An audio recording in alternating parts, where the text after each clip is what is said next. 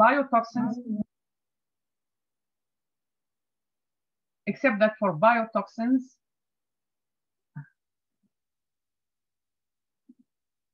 which is which are the toxins that are produced by shelf uh, by uh, microalgae, you can see that only 5% is reported from uh, consumption of shellfish and 28% from fish.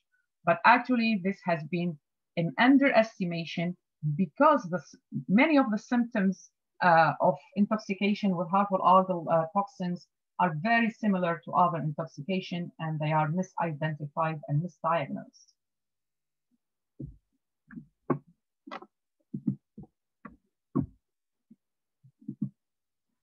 Now we come to the cyanobacteria, cyanobacterial harmful algae. Uh, well, they, they do occur in mainly in fresh waters, but also in brackish and marine waters.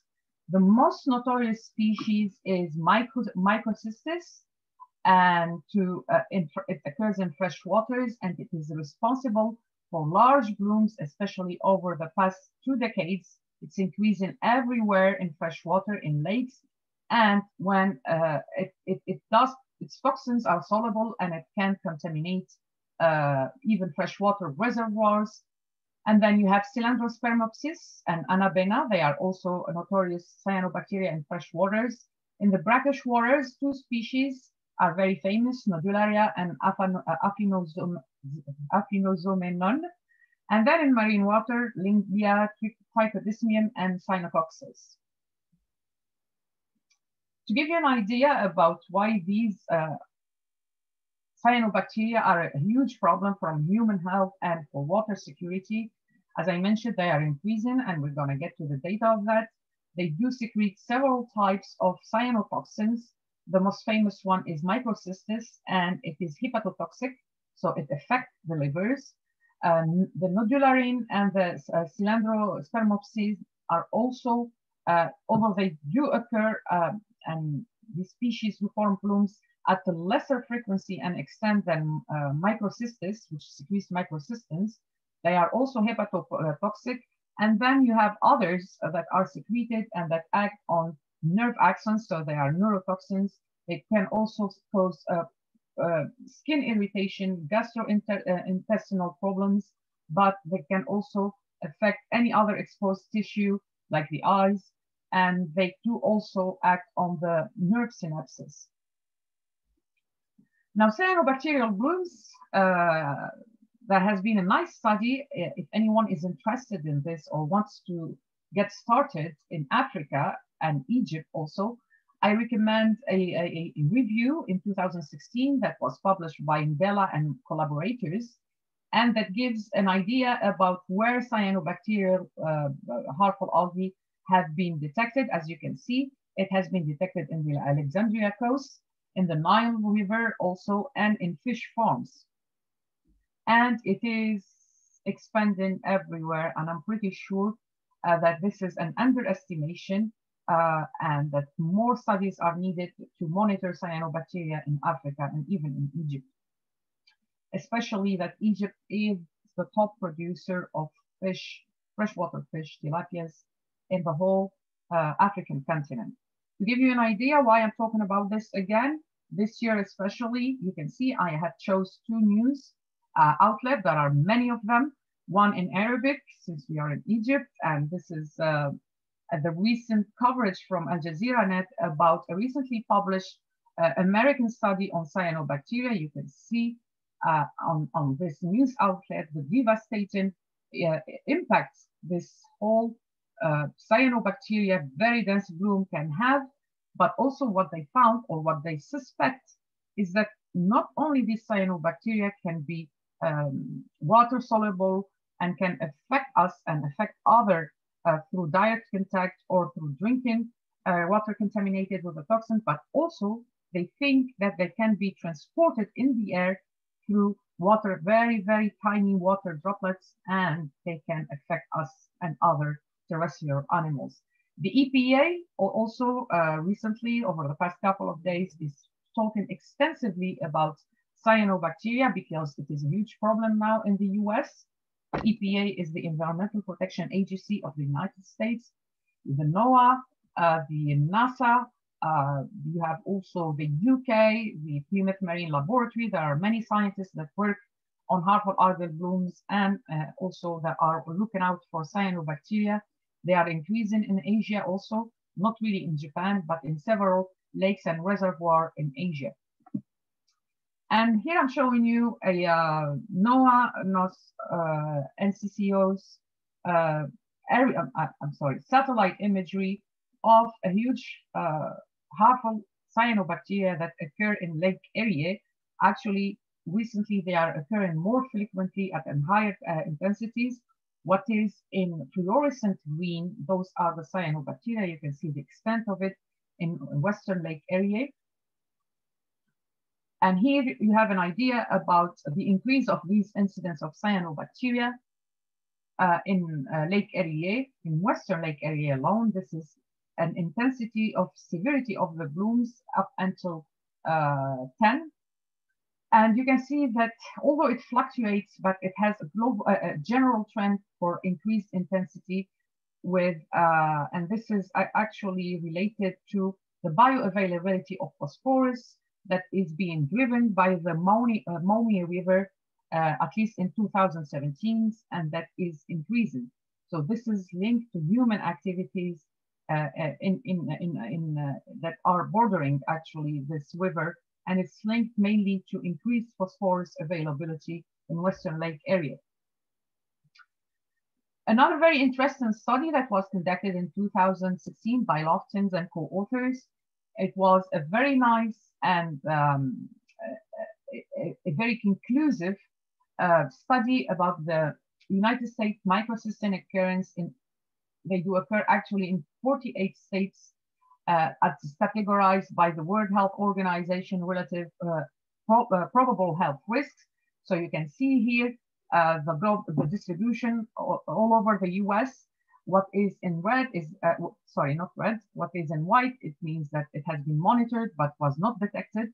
And then you have this, the different levels uh, according to the World Health Organization health risk you have the low that is in blue, and then you have uh, the, um, the, salmon that is moderate, and then you have the red that is high. What you can see here is that it's almost present everywhere, and especially in certain region, notably the uh, north and south uh, east U.S., and then in north and uh, uh, northeastern and southeastern U.S.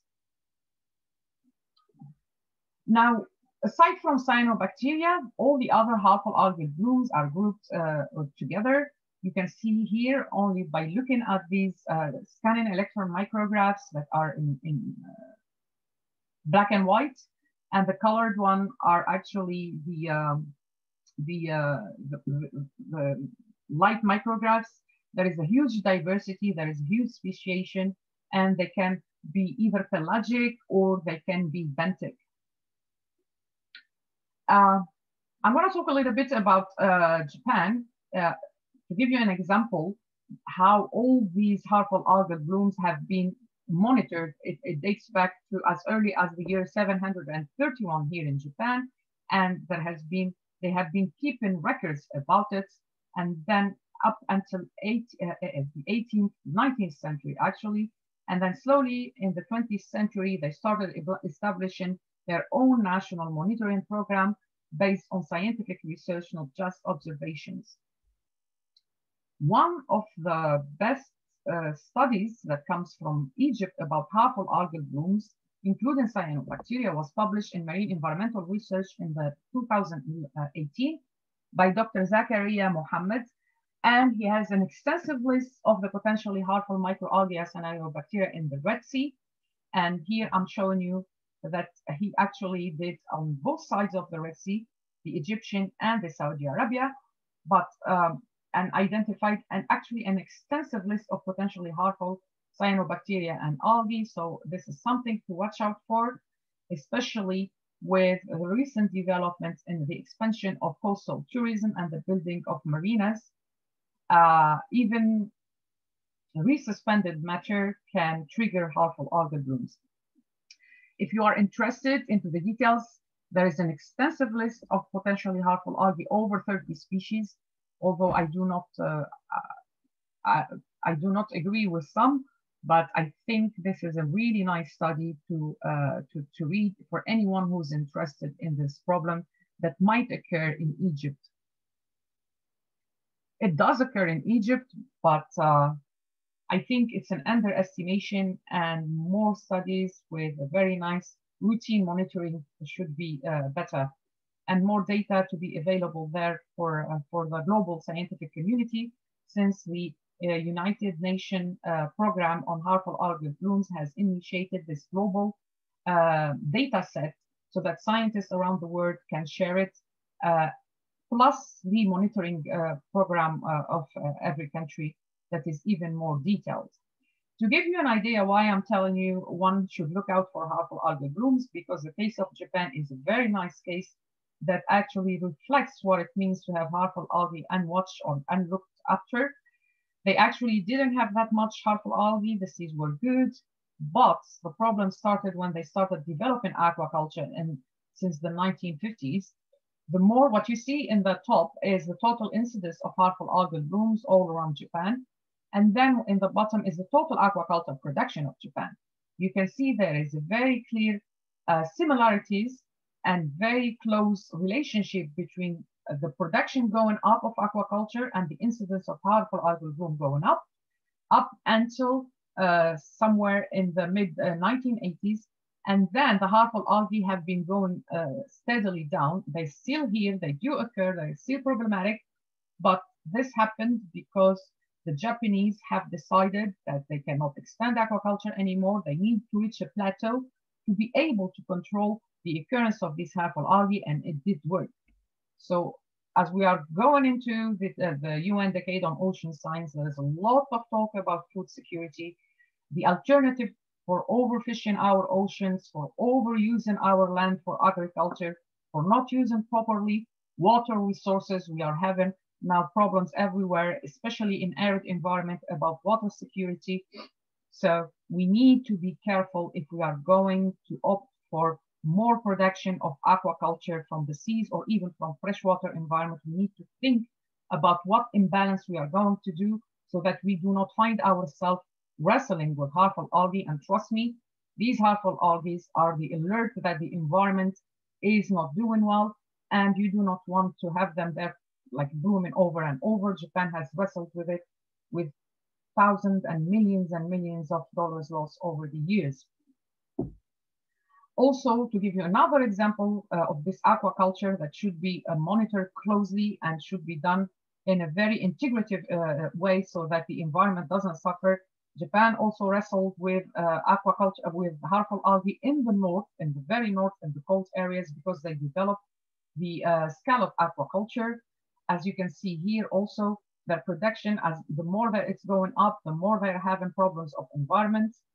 Another species I want to talk about that is not necessarily related to uh, aquaculture directly, but that impacts aquaculture and humans are the diarrhetic shellfish poisoning causes species, which are uh, represented by the genus Dinophysis. As I, I, as I mentioned earlier, is the second most widespread uh, genus after Alexandrium. Here you can see they are very nice and very beautiful to work with. They are very, very beautiful to, uh, to watch under, under a scanning electron microscope. So I'm showing you this beautiful uh, ornamentation they can have. Here I'm showing you Dinophysis fortii and Dinophysis acuminata. Acuminata, Dinophysis acuminata is the most widely distributed species of Dinophysis and it is uh, it is present in the Mediterranean Sea and it's present in the Red Sea. It is not a freshwater, uh, of course, uh, species. And I'm showing you another example uh, of uh, how the mismanagement of the environment, and this is the example of Japan. I'm also showing you the example of Japan again, because they are one of the first and the finest uh, records about this comes from this country. That's why I'm doing this research here. You can see this is the distribution from, uh, that's the map of Japan. And then you can see the contamination of shellfish with the diarrhetic shellfish poisoning from 1978 up to 2001.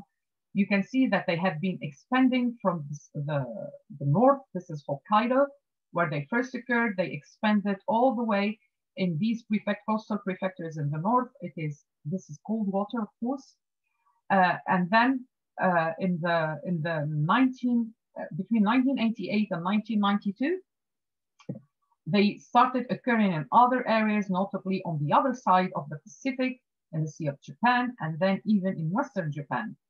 And then, thanks to the white and copper measures, it is now only confined to the north, although we don't know yet why they are confined. We think there is uh, there are there is a more more species specific uh, reason for this for the production of these toxins and their occurrence.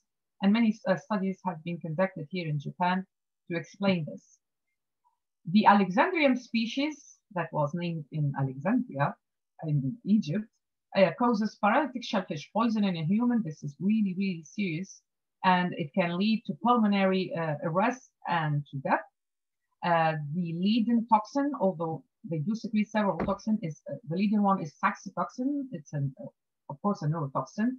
It is mainly produced by Alexandrium species in Egypt uh, over the past few, since 1995, there have been reports of blooms of Alexandrium minutum, but also there are other species of Alexandrium. So tamarense, Alexandrium tamarense is very notorious. The species also occurs in uh, the Gulf of Maine. There is uh, Alexandrium catenella, which has a global distribution. This Alexandrium catenella is now a problem in Chile, for example, this is a problem that is causing high intoxication of shellfish with saxitoxins and analogs. And this species is also uh, a fish killer. It's the fourth most widespread fish killer uh, in aquaculture farms in the world. And it can it is becoming problematic in Chile with the salmon aquaculture. Chile producing the second, Chile being the second producer of uh, salmon in the world, estimated as 5 billion at uh, 5 uh, billion USD. And then you have Alexandrium tamiyavanichii. This is another species. There are many species, of course. This species uh, actually occurs mostly mostly in in in, in higher latitudes, but it is adapted to others. And uh, these species, I'm working with these species. There is also the genus Gymnodinium. It's another genus that produces paralytic shellfish poisoning. This species is actually problematic in, uh, in and does occur in uh, Mexico. And you can see here also that if human activities are left unchecked, these species can start from one place and then they expand. This is the case of Japan in the 1978. They were uh, uh, they were in Mie, uh, sorry, in Miyagi and Iwate prefectures but then they started expanding all over Japan to the west and even to the south, southern part of it. And even as of 2001, they were distributed even uh, more widely, especially in Western Japan. So now there is, uh, there is uh, in Japan, the, the, the, things are getting better, but they are still here. The thing with these Alexandrium species, and this has been, these cysts has been identified in Egypt, uh, is that they do produce the cysts that are uh, very well uh, adapted to withstand unfavorable conditions.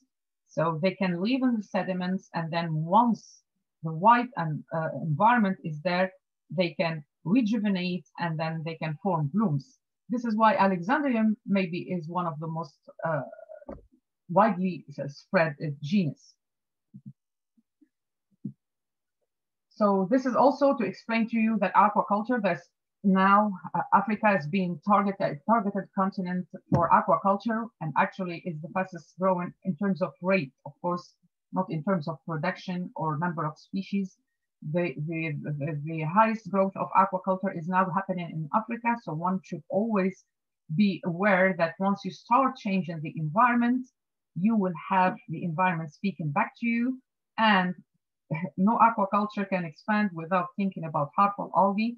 This happened in Japan. I'm showing you here that two species, Seriola uh, and Seriola dumerili, these are considered very fine fishes. They have very nice uh, flesh. And when they started actually producing these high-end quality uh, uh, fishes, they started having an increase of the incidence of HAP until they decided they are going to stop uh, to, to, to put one species at the plateau of production. And for the other species, Dumerili, they continued increasing, but they changed the aquaculture practices by uh, by changing the feed, the, the food that they give, the feed type, so that they do not alter the environment and cause harmful algae to bloom. Okay, I still have some time. Hello?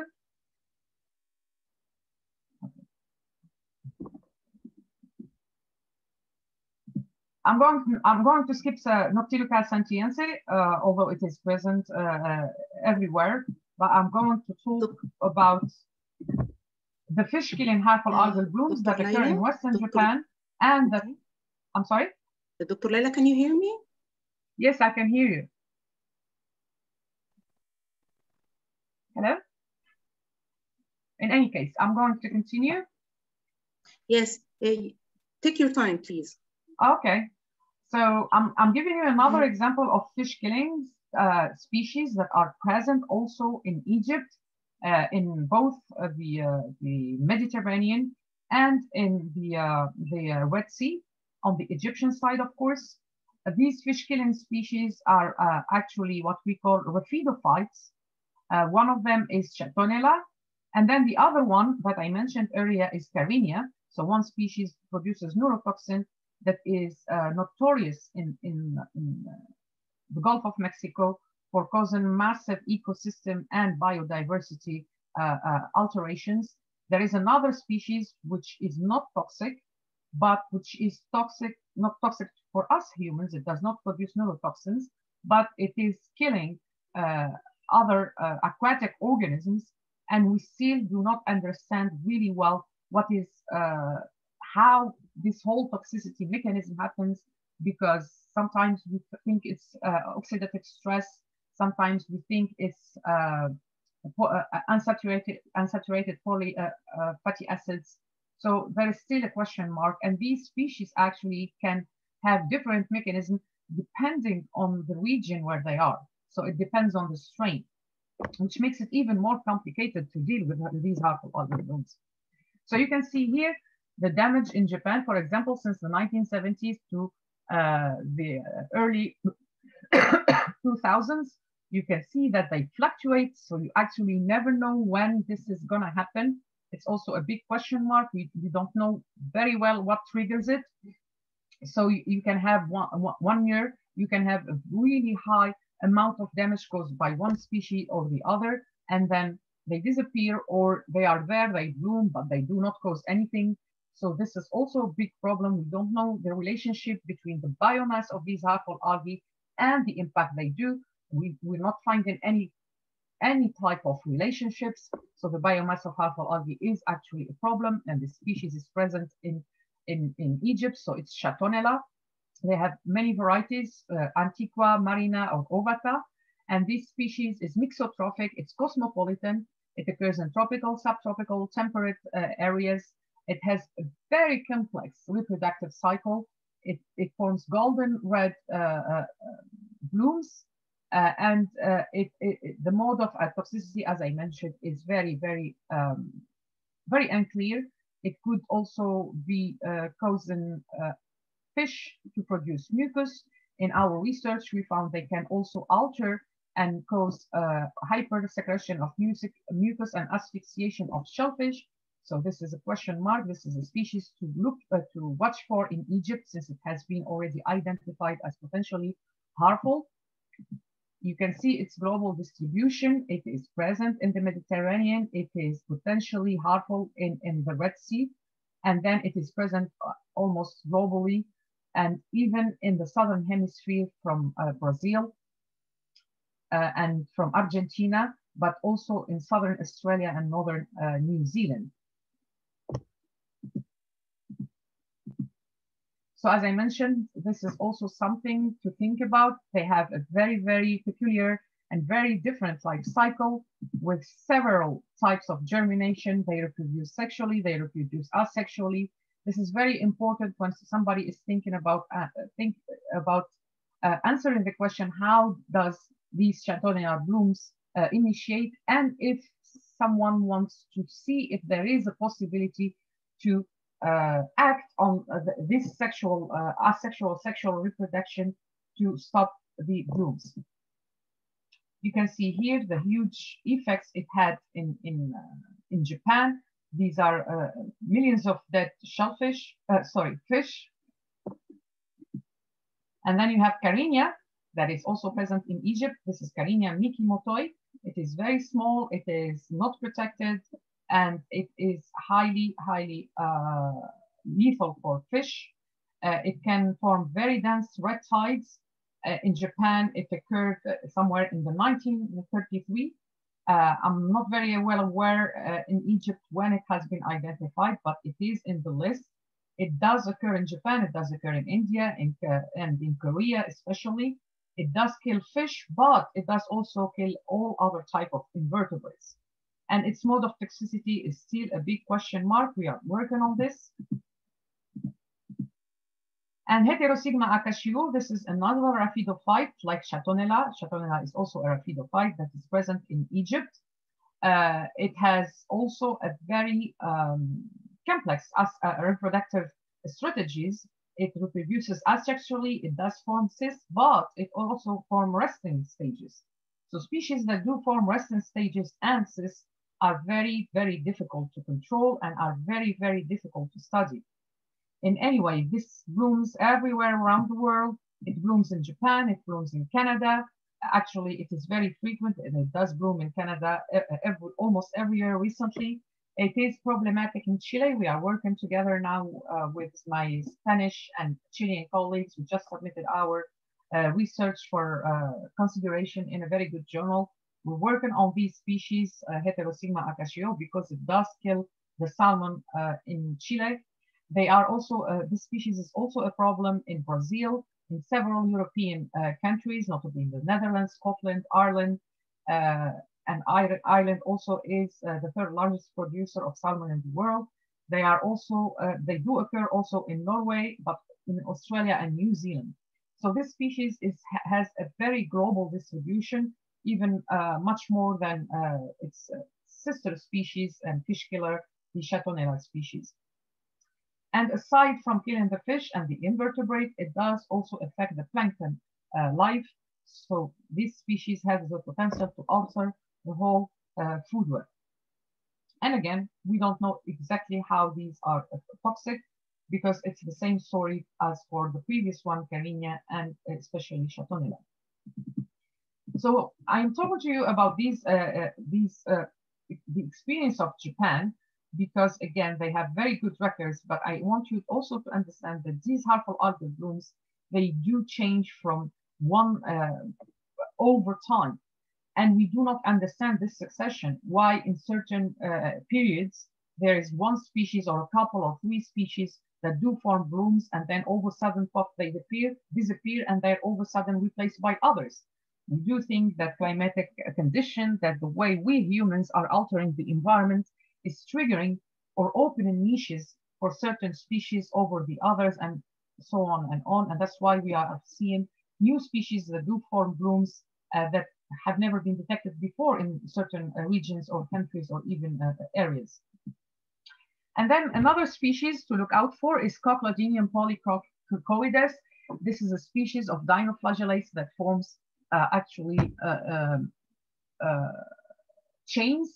It is highly lethal for, for uh, fish, but also for invertebrates. Its bloom toxicity is still unknown, but it can wipe out aquaculture farms, it can cause millions of millions of dollar loss at once. And it is almost everywhere. It is again in Japan, Canada, US, in Chile, uh, in New Zealand, and in uh, Europe, and in Australia. And to give you an example how these harmful algae, once they occur, they become problematic. This happened in Japan, for example. What you see is that uh, uh in this uh, distribution map, the dots are actually uh, the ones in red are actually the, the events where fish kills occurred, and the one in green are the events where this cochlodinium occurred but no fish killed. So it is a big question mark why sometimes they are they occur, they form blooms, and they cause mortalities. And other times they can occur and form large blooms, but still they do not cause any mortalities. So we think that the toxicity is also not about the number of cells only, but other environmental factors uh, that triggers the production of toxins by these Cochlodinium or other species that should be also looked uh, after. Also, to give you an example about how human activities are changing the environment and that why I said that these harmful algae are actually the alert. Uh, it's uh, like a, yellow card uh, before getting to the red card.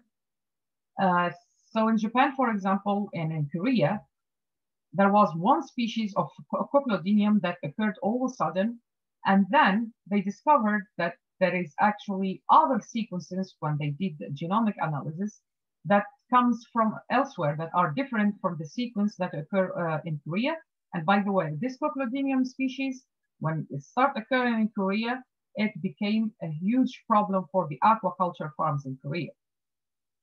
And then to come back, and then they discovered that there is a new species that occurred all of a sudden in Japan and started forming bloom, which is Cochlodinium uh.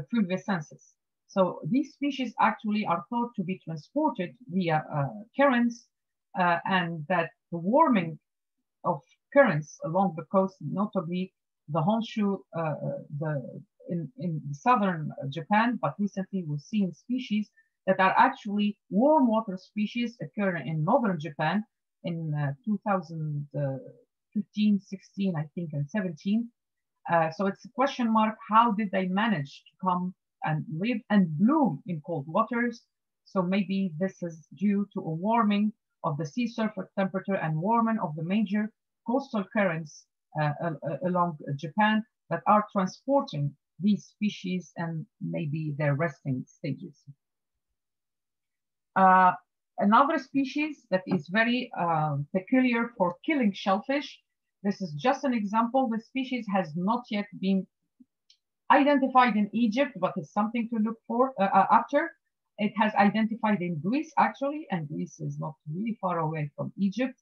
Trust me, these species, when they, they are transported, they stay uh, in the background, but once they start blooming, they can cause havoc at once. This species, for example, in Japan, was never reported, never seen before, and then all of a sudden it started blooming and forming huge, uh, very highly toxic blooms at very low cell densities and has wiped out uh, production, entire productions of shellfish for oysters. Actually, it was uh, it, it, it's about 12 to 14 species of shellfish here in Japan have been wiped out.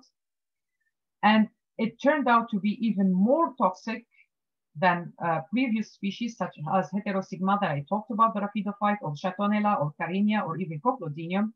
It is even more species, uh, more toxic, sorry you can see that the warning level is at 500 cells per milliliter and that the minimum soil quotas uh, for uh, having toxicity is one of the lowest at 1,100 compared to, for example, uh, 7,800 for Chattonella antiqua or 5,250 for Cochlodinium.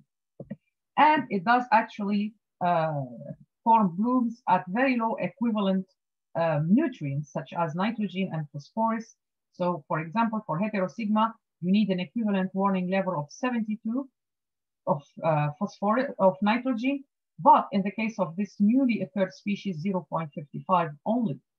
So just, it's not because the bloom is not there that the species are not there, they can be hidden. And in Japan, they think that this Heterocapsa circularis species, the notorious shellfish killer, that cause also problems and mortalities in Hong Kong, uh, has been a hidden flora for a long time, and for some reasons, some changes in the environment have triggered their blooms that occurred over and over and over in Japan for decades. Okay, I'm going. I'm not going. I think we won't have enough time to cover this part, uh, but I'm going to show you how this happened. So this is a uh, animation of when this heterocapsa occurred, I'm going to start again. So it occurred first here in 1988, and then it spread all over Japan. This is another example why harmful algal blooms should be watched and carefully monitored because once they go out of control, they can spread everywhere. And this is linked to the two major, most probably to the transportation with the two major current, Kuroshio current and Tsushima currents along Japanese coast, and to shellfish consignment, of course. And here are all the major Pacific oyster and pearl oyster farms along the Japanese coast. You can see that the distribution of the blooms is linked directly to the shellfish farms all around Western Japan and even in Northern Japan where the water is actually cold. This species, which actually thrives in uh, warmer uh, waters, have managed to reach that level and cause mortalities of Pacific oysters. To come back to dinophysis also, and here we're going to start talking about climate change. I'm going to give you examples of the most widespread two species, Dinophysis acuminata and Dinophysis caudata. So Dinophysis acuminata does produce uh, diarrhetic shellfish poisoning that affect us humans, and caudata produces other types of, of, uh, of toxins that thank God, does, do not uh, uh affect us. So this species is temperate to boreal and the most uh, cosmopolitan, and this one is tropical to temperate. And we did some um, some some experiment with it. You need to uh, to realize that this species is cultured only in a handful of uh, laboratories around the world. When we did the studies, there were uh, maybe six or seven uh, labs that managed to do it, but we did it at very high uh, densities. And I thank my collaborators uh, for this. We base our experiment on mixed assemblage of cultures. And this is what makes it very, very difficult because they do feed on a Mesodinium, a marine ciliate, which also needs to be fed a, a cryptophyte. In any case, we did several uh, experiments and we tried to see the impact of warming under controlled condition on their production. And we found that for Dinophysis acuminata, these are the different types of toxins from okadaic acid to uh, pectinotoxin DTX and pectinotoxin uh, 2 in uh, data.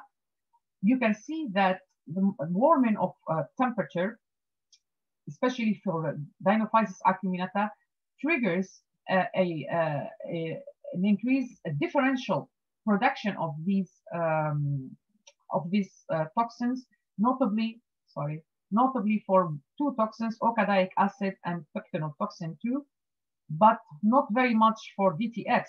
And in the case of the other species, the tropical species, actually temperature can have an effect, but only if it is warming. So why I'm showing you this is to tell you that warming of the ocean not only can affect the geographical distribution, uh, the frequency, as I said at the beginning, but we are finding that it can actually affect the, the type and the intensity of production of the toxins of human concern. We also did extra uh, experiments with the two species, and we also found that the, the warming affect the production through eff effects on the growth of, of uh, this, uh, these cosmopolitan species. And we uh, also found that the relative uh, toxin production is affected by temperatures, but also affected by growth, notably in Dinophysis acuminata, whereas the tropical species has a more wider and uh, response to these uh, warming of water temperature. And then, aside from this, we also did some experiment with this dinophysis. Uh, we were actually targeting uh, the toxicity for human health uh, concerns, but we found the unexpected that shellfish starts dying. So this means that this species is not only problematic for us humans, but it does also affect shellfish. And this study, we've been working on this for quite a few years, and we are hoping to put out our uh, data after we finish it uh, sometime this year or uh, beginning next year. This is Dinophysis uh, caudata that I'm talking about. It's also present in Egypt, and it's actually cosmopolitan. And when we did the analysis, we found that it actually produces only pectinotoxins, so not the two other uh, type of toxin, okadaic and uh, uh, the DTX. And then we found that they, uh, these species can actually affect shellfish by killing differentially the species. So it does kill mostly uh, scallops over noble scallops, which are in blue, and the least affected are actually the Pacific oysters. So very quickly, I'm going to show you what type of effects it can have. You can have here, for example, the effects. These are our histo histopathologies studies. You can see here uh, the Pacific oyster, noble scallop, and Japanese scallop um, gills. These are the normal gills that are healthy. And then you can see hemocytic infiltration here caused by dinophysis or hyperplasia, and even more hemocytes here in the case of the Japanese scallops. They do also form extensive uh, hemocyte infiltration and then hemorrhage in certain shellfish. They also affect the digestion and even the enzymatic activity by causing hyperplasia in the digestive system. You can see this is the hyperplasia I am talking about. Another type of hyperplasia in the intestines. This is the normal epithelium and this is the hyperplasia. they also cause necrosis depending on the species and they cause a complete desquamation of the intestines. And in some cases, we even saw neoplasia. We are still confirming this, if it's statistically significant or not. And at the molecular level, they do cause, the species does cause a change in the antioxidant enzymatic activity in, in scallops, both species, where you can see that the superoxide dismutase activity, which is an enzyme that catalyzes the dismutation of oxygen radicals uh, into, because they are harmful actually, harmful to proteins, harmful to DNA, harmful to cell membrane.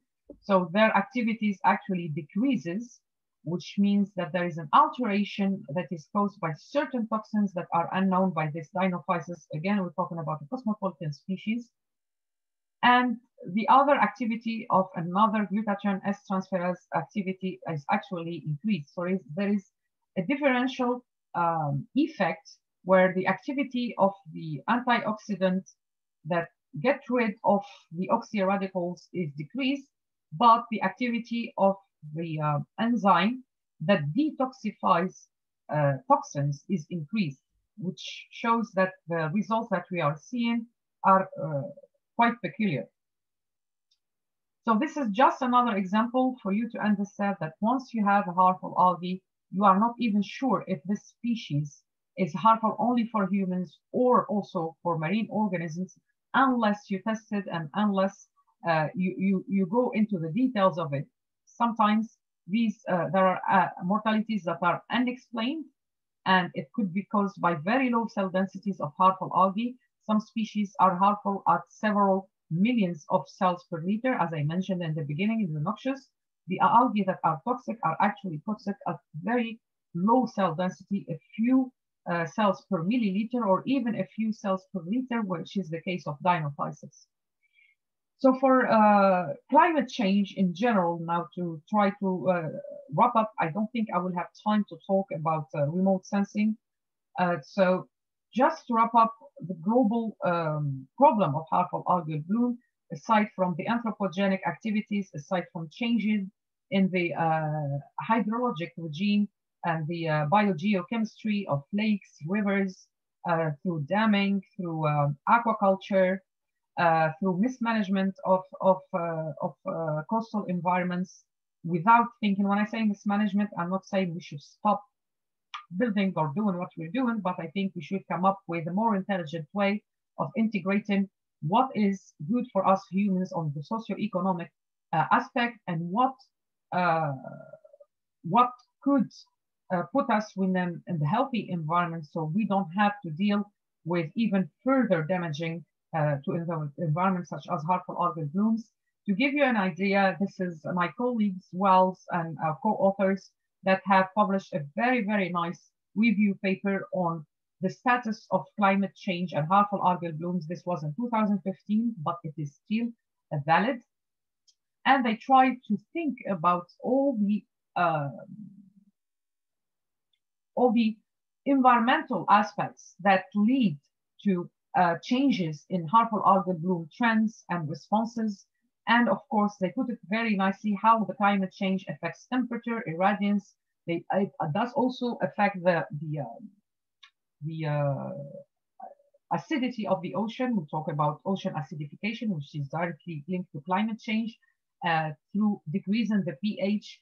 And these ones do interact together to affect stratification, uh, the, the nutrients that are available in the water, and all together, these very intricate relationship that not are not you cannot generalize it on a global scale. It must be a regional uh, scale uh, or even a more local scale, uh, depending on which countries and which area of the globe we're talking about. All these together will have an effect on the physiological responses of these harmful algae, on the grazing and the mortality's interaction with other predators, on the phenology of these harmful, which species is going to occur and will be more uh, uh, prosperous in certain environments.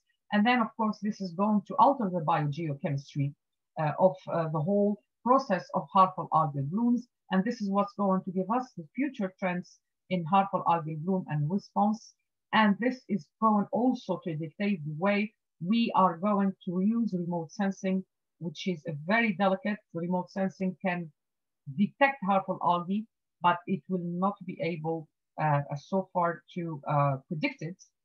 And um, there is a whole program that is going to start uh, very soon that is uh, a program of NASA to start a whole new uh, monitoring of uh, phytoplankton, including harmful algal blooms.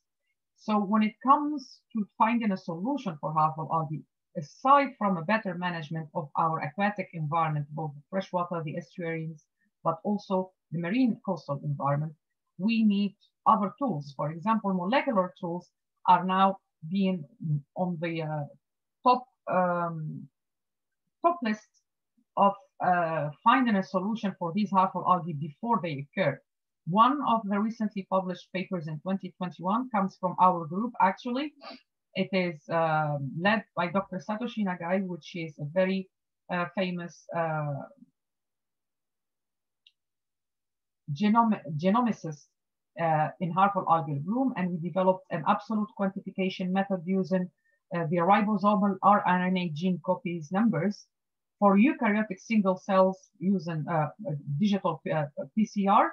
But this has been also applied to harmful algae to detect 16 species, and it gave a very, very good results. Uh, you can see here that uh, by using the 118S rRNA gene sequences, uh, we, we were able to actually uh, detect several uh, species, including harmful algae. And with this, I think, I think I'm going to end this uh, training. And if you have any questions, uh, please uh, let me know. And I hope you enjoyed the ride. Thank you. Okay. Thank you so much, Dr. Laila, for this informative lecture. And we now, we, you highlighted actually several areas that need to be addressed by uh, Egyptian researchers. And I think this will trigger somehow a brainstorming. Um, and I think the best practice to mitigate or uh, decrease uh, the causes and the consequences of harmful algal bloom is the collaboration between Japan and Egypt uh, to transfer the technology. And thank you very much for this lecture. Now we have three questions and a raised hand. Let us start first with the questions from uh, Dr. Samia Mikhail. She is a professor of phytoplankton specialized in red tides, and she's also a student uh, of Dr. Halim, who first uh, discovered the, uh, recorded the Alexandrium in Alexandria. So the first question from Dr. Samia is, um, is asking who recorded Chattonella and Heterosigma, Heterosigma species in Egypt and where?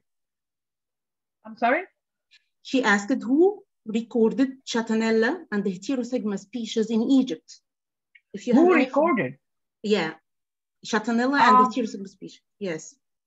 If you have any. I have I have the information. I can send you the information. I don't have in in my mind who recorded. Yes, but because there okay. were so many species that were recorded in Egypt. Yes.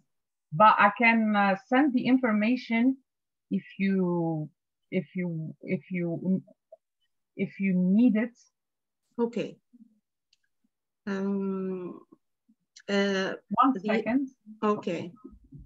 I, I might find that we can move forward, but I might Yes, find it.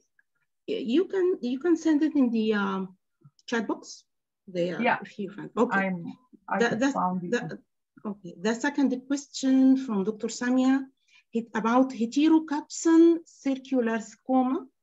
yes. uh, already identified and recorded in Alexandria Coast. She's giving an information about this. ah, okay. I was Okay. not aware of it the last time I checked. It was already in uh, Greece, but I was not aware that it reached uh, already Alexandria. Yes. So uh, Uh, it's another additional reason to watch out for this species. Yes.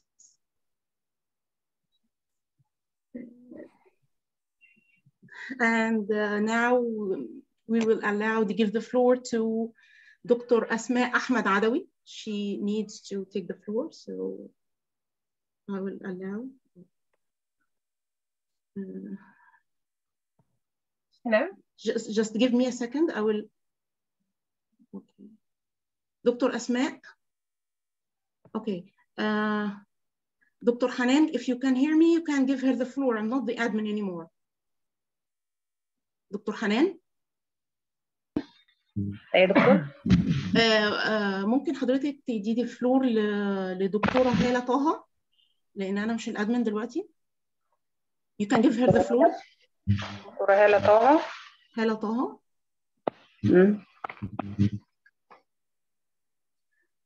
هالة مهم. دكتورة هالة طه أيوه أيوه خلاص أوكي يا دكتور مع حضرتك اتفضلي سؤال حضرتك السلام عليكم uh, I first I want to thank uh, Dr. Laila for uh, her uh, effective uh, lecture. Um, also, I want to ask, uh, you hear me? Okay. Yes, Dr. Soha? Yes, Dr. yes. Laila, Dr. Soha? yes, yes, you can hear you. Yes, I am here. Okay. Okay. Uh, I want to ask Dr. Laila uh, why we can detect uh, a new species of harmful algae, although we have a lot of new technologies nowadays. Uh, I um, I uh, uh, saw from her lecture that uh, uh, the last species detected or new species detected uh, from um, 1992 or uh, and 1995. Uh, this is the first question. Second question, uh, I want to ask about um, uh, toxins uh, from cyanobacteria in the air. How the scientists uh, detect uh, cyanobacteria toxins in air? I wish to know. They actually did a study. They uh, they actually just published this study. I think a couple of weeks ago. They did not. um they inferred from a analysis of the toxins in the water, and they found that uh, potentially they they did not detect it in the air. So practically, they did not use any technology to say here we detected it in the thin air or in the air transported above the, the bloom.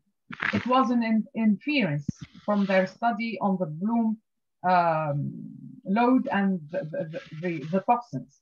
They did not find it actually in the air, not yet, but I think this is where they are heading it was an inference from, from, from the biomass and from the load of the toxins. Okay, okay, thank you. The first question, uh, can you oh, can you please okay. repeat the first question? I don't think I, I, I heard you well. Uh, uh, from your, your uh, uh, presentation, Hela, uh, Aywa. can you please ask okay, the first okay, question? Okay, I ask the first clearly? question again. Yes. Okay, okay, okay. Eh, Uh, uh, from your presentation, Go uh, ahead. you Mhm. um, uh, you present that uh, some new species detected uh, in 1992 and 1995. Okay, uh, from Yes. this time. Uh, uh, there is no uh, detection of new species, although we had a new tools or a new الحمد لله molecular technique. شغال نعم ماشي Dr. Laila, Dr. Laila, you I'm, my still, question? I'm I'm still listening to you. There are some uh, so- echoes so in the background. So Mm. um, Okay, uh, you're talking Mustafa, I about will, I will give you the floor in five minutes. So uh, I think you are talking about cochlodinium that was detected in 1992 and then 1995. Yeah. No, it's still here. Uh, coc- uh, it, so the, the species are still present, but they do not form blooms anymore. Certain species, Mm. they Okay. uh, they appear, they do form blooms, they form persistent blooms, devastating blooms. They can be even recurrent, so they occur over and over the years for a certain uh, span of time. It can be a decade, a couple of decades, and then for no for reasons that are still a question mark, a question mark because you cannot expect you are expecting them to be persistent forever until you find a solution for them. But actually, for some reasons that we don't understand, may be linked to our activities that is altering the environment in a way that is not more sustainable for the species to bloom, they do uh, disappear. For example, one species is Heterocapsa, the species that you, you're, uh, that someone just mentioned is already in Alexandria. This Heterocapsa has been blooming every year, every year, everywhere in Western Japan. And then recently, its blooms have become, uh, it's there in the background. It is reported by monitoring program present and at which cell densities, but it is no more fish uh, killing the shellfish. So nobody knows why, but it's there and it has changed. Nobody knows why. So this does happen actually. Okay. Thank you. Thank you, I think the, 19, uh, the 1992 is about cochlodinium. Cochlodinium is still here. It's still, for example, in Japan, it does cause uh, mass mortalities, uh, even recently. But what I wanted to show is that it wasn't there. It was not detected. It, no bloom of it has been seen before. And then it, it started occurring. Okay. Thank you so much. Thank you so much You're for this question. Okay. Um, we have only three minutes um, for the uh, second lecture, Dr. Mustafa Fouda, and we have one more question. We can ask, um, we can just try to address this question. Um, Dr. Ahmed Hinesh uh, from National Institute of Oceanography and Fisheries is asking about the methods to decrease the harmful impact of cyanobacteria. If there is if there are any methods to decrease the uh, harmful effect of cyanobacteria. Well, the first, uh, the first thing uh, when it comes to cyanobacteria is the nutrient load. So pollution, misuse of the lands uh, that uh, around the freshwater environments uh, and agriculture runoffs, the river uh, regimes when they change, when the hydrology change, it can contribute to the sustaining of certain cyanobacteria and of course climate change. So this is a, um, a problem that is global, but there are recent uh, companies uh, in the United States, for example, and in other that are trying to find uh, uh, uh, solutions to harvest these uh, harmful algae cyanobacteria and take them out from the environment. There are other uh, uh, development, like like technological development, that are uh, being um, used or being developed to uh, mitigate the problem of cyanobacteria. If you are interested, I can send you also the information about it. So maybe uh, Dr. Suha, or maybe now, once uh, uh, Dr. Uh, Mustafa Fouda starts, I will get you the information and I will share it with you. Thank you so much. Thank you so You're much. welcome. Thank you, Dr. Leila. Thank you for this very nice lecture. So now we welcome Dr. Mustafa Fouda, the Minister Advisor on Biodiversity, uh, Ministry of Environment of Egypt. I will be giving a very nice lecture about human affairs and marine science. Dr. Mustafa, the floor is yours. You very much. I need some help because uh, uh, I'm just trying to see how I can share screen. Yes, you can, Uh, yes, the, the I have it already in front of me. I have it uh, already in front of me. So if you have a technician or what, uh, please, I'm trying can to see. just you, you can share the screen from the you can click the uh, green button down the um, Yeah, I see it. Okay. I see it. I- okay I'm using it, but Uh, uh, just a second. It looks like. can can you share Do you it see it now? now? okay yes yes I, I'm seeing it now. yes Do, we can do, see it you- do you see it? yes it's very clear thank you yes we can see it Okay.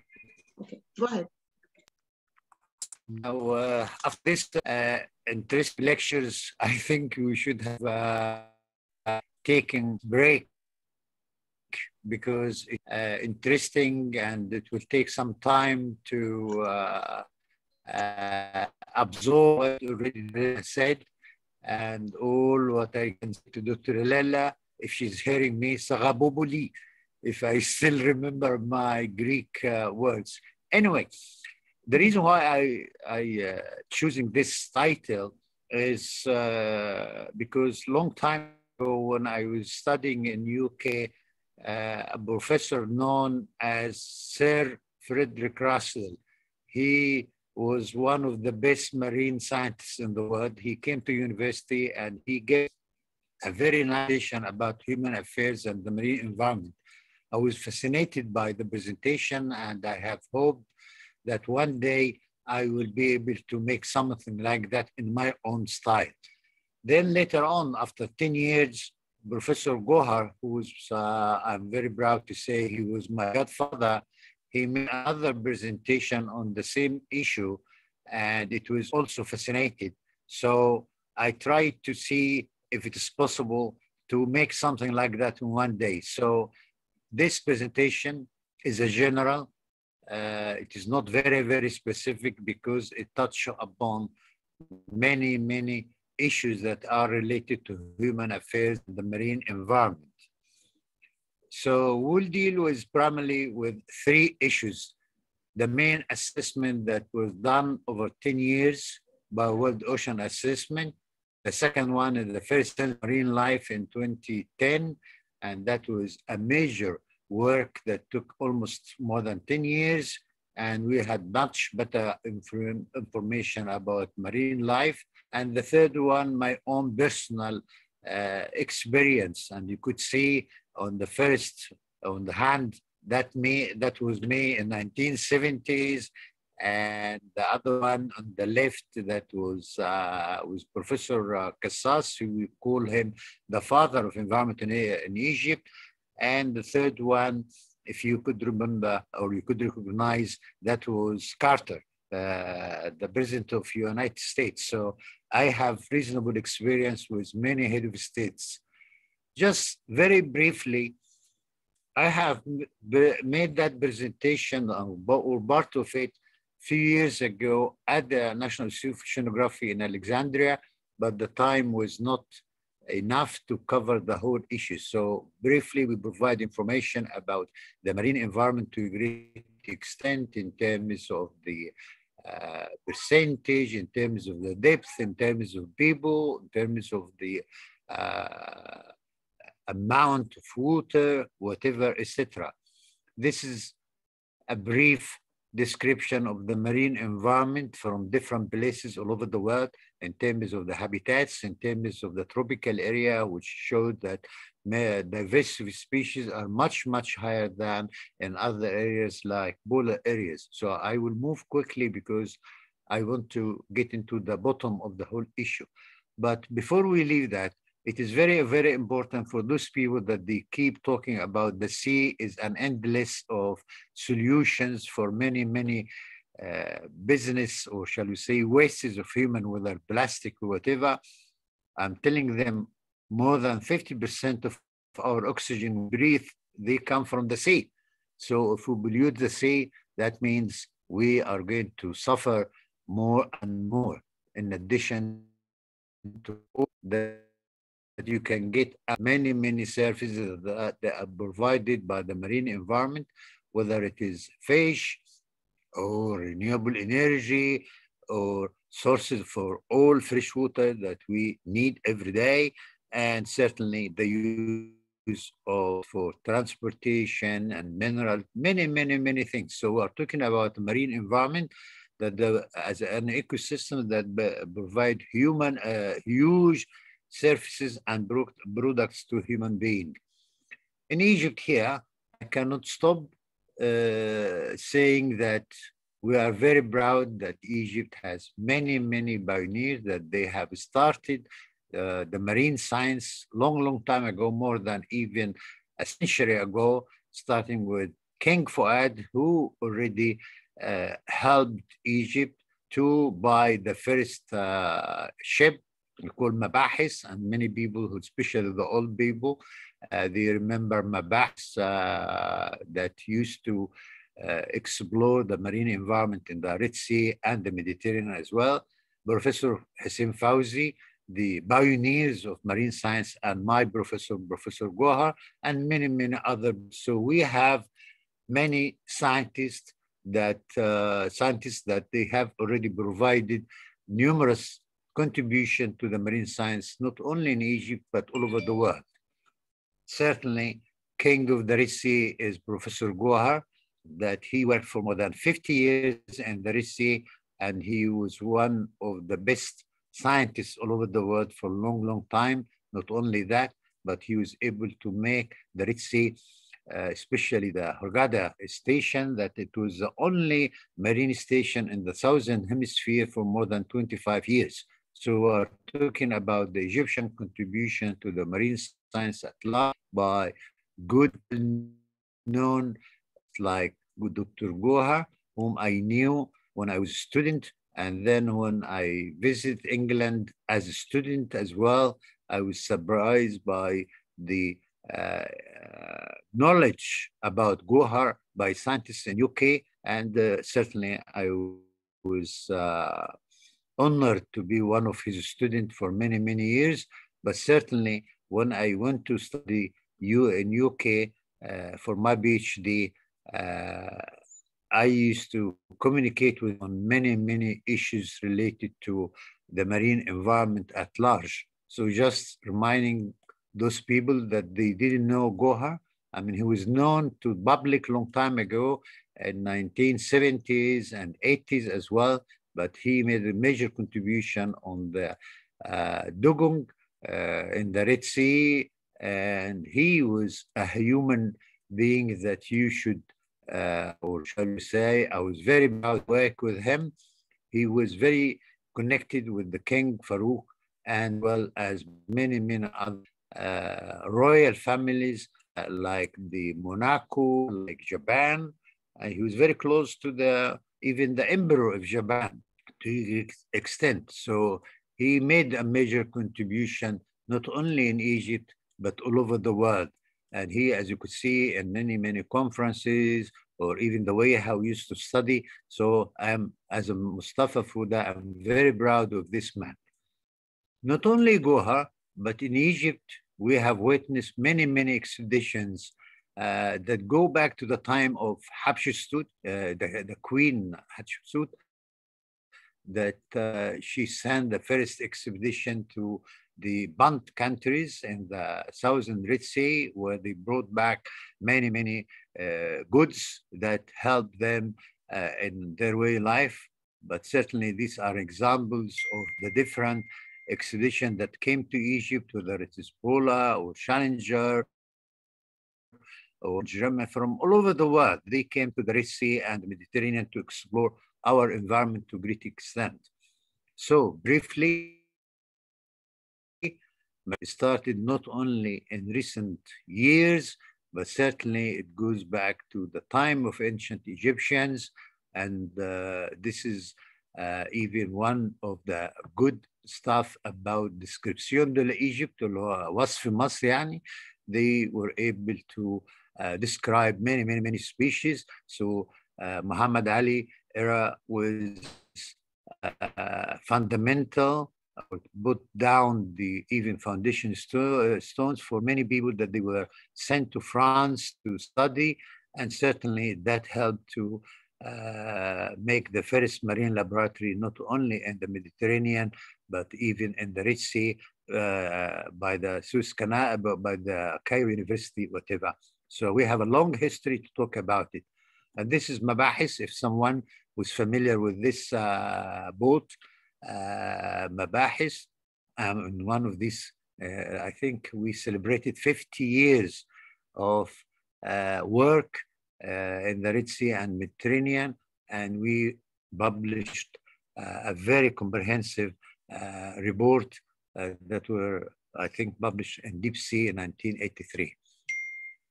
So we have many scientists that they came to our Egypt long time ago, Peter Forsskål that described hundreds of species of plants and animals. The same thing for Rüppell.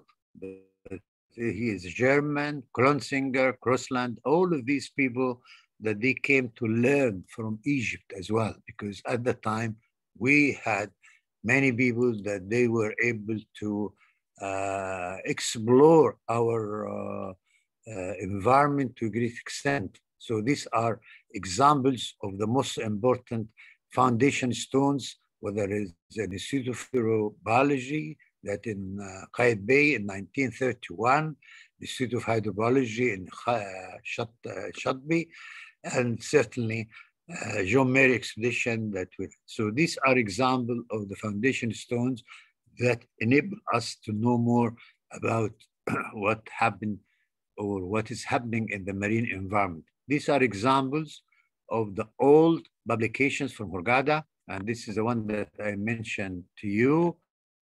Then the research that was published uh, in 1983, and this is a new version of the Egyptian Journal of Research. So we have contributed to great extent in all aspects of the marine environment, whether it's physical, chemical, pollution, marine biology, geology, fish, aquaculture, coastal lakes, marine protected areas, climate change, and many, many, many others. So these are some of the areas that Egyptians were able to tackle in many, many years. And this is part of their publications, whether it is related to specific issues like seashells or specific issues related to the marine environment to a great extent. So these are examples of the good work. I mean, I'm very proud of this one, which is related to the checklist of the Egyptian Mediterranean fishes by one of my good friends, Ragab. Uh, anyway, uh, if you go in details, you could see the work that have been done in uh, places like Lake Borolus from 1990 until, uh, sorry, from 1973 to almost 20, you could see how the Lake Borolus look like by remote sensing and how this have changed and, and reached where almost half of all the uh, lakes has disappeared due to many, many, many issues with their land reclamation or many, many activities whatever.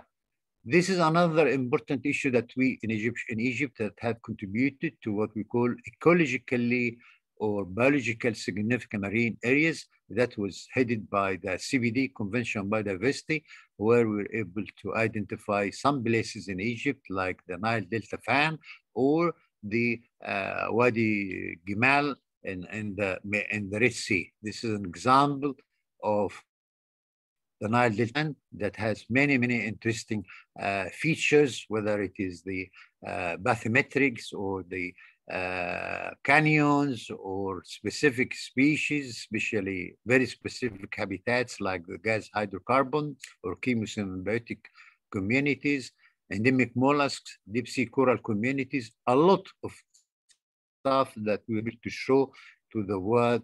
And we're very proud that we have uh, a very important and interesting uh, species that we have uh, uh made to uh, the global community. This another EBSA that we have nominated or recommended for, uh, to be included in the list of all world EBSAs. And this is what the Gimal Elba, where uh, again, it is completely different from Nile Delta fan. and it show you that we have more than 200 species of corals, more than 400 species of fish, high endemic species, and many, many other um, uh, information. Even if you go to the iconic species like dolphins, like uh, in Samadai, for example, uh, uh, we have uh, many different species. I think uh, we have up to about 17 species now, the last uh, version of it, but it show you when we talk about number of species of dolphin, they are not only individuals, but we have hundreds of them to a great extent. This is a summary for the endemic species in the shallow water uh, of the Red Sea, and it show the rate of endism as well, which is very, very, very high compared to other areas in the world. I'm very proud to mention that few uh, slide that I will show now. It is one of uh, our student. His name Ali uh, Hussein. I have examined his thesis only few weeks ago, and it is in line with what Dr. Della uh, already mentioned. This is analysis of algal bloom over 20 years period and uh, using satellite images as well. And it was very, very interesting because we were able to see the annual variation, monthly variation, and even seasonal variation to a great extent. Not only that, but based on the colloidal concentration Egyptian water, you could say most of all of this information came from the coastal area to great extent. Not only that, but he was able to show the algal bloom in different places along the Egyptian coast, especially around Alexandria. Uh, and it was true because we were able to, or he was able to show what kind of pattern of algal bloom. Uh, over 20 years, he was able to record 321 events that uh, cover many years and he was able as well to show that over years and years uh, he was able to combine both the satellite detection and field event as well. And i agree with dr lilla that fish mortalities not only fish mortalities even shellfish vertebrates we have witnessed several ones and i think she has uh, already shown that in some years like 2015 and 7, that was true to great extent. Moving from regional, uh, from, shall we say, uh, uh, normal or national contribution, we can go a little bit high by looking at the regional efforts that Egypt contributed to a great extent. And you could say uh, this person was the Minister of Environment, Magd George, and it was uh, Prince uh, Turk uh, from Saudi Arabia. And certainly we were able to produce many, many publications that came out of what you call PERSGA. It is the program for the environmental studies in the Red Sea and Gulf of Aden and even the Mediterranean, a lot already were uh, made, uh, whether state of the uh, Mediterranean environment or specific issues. Uh,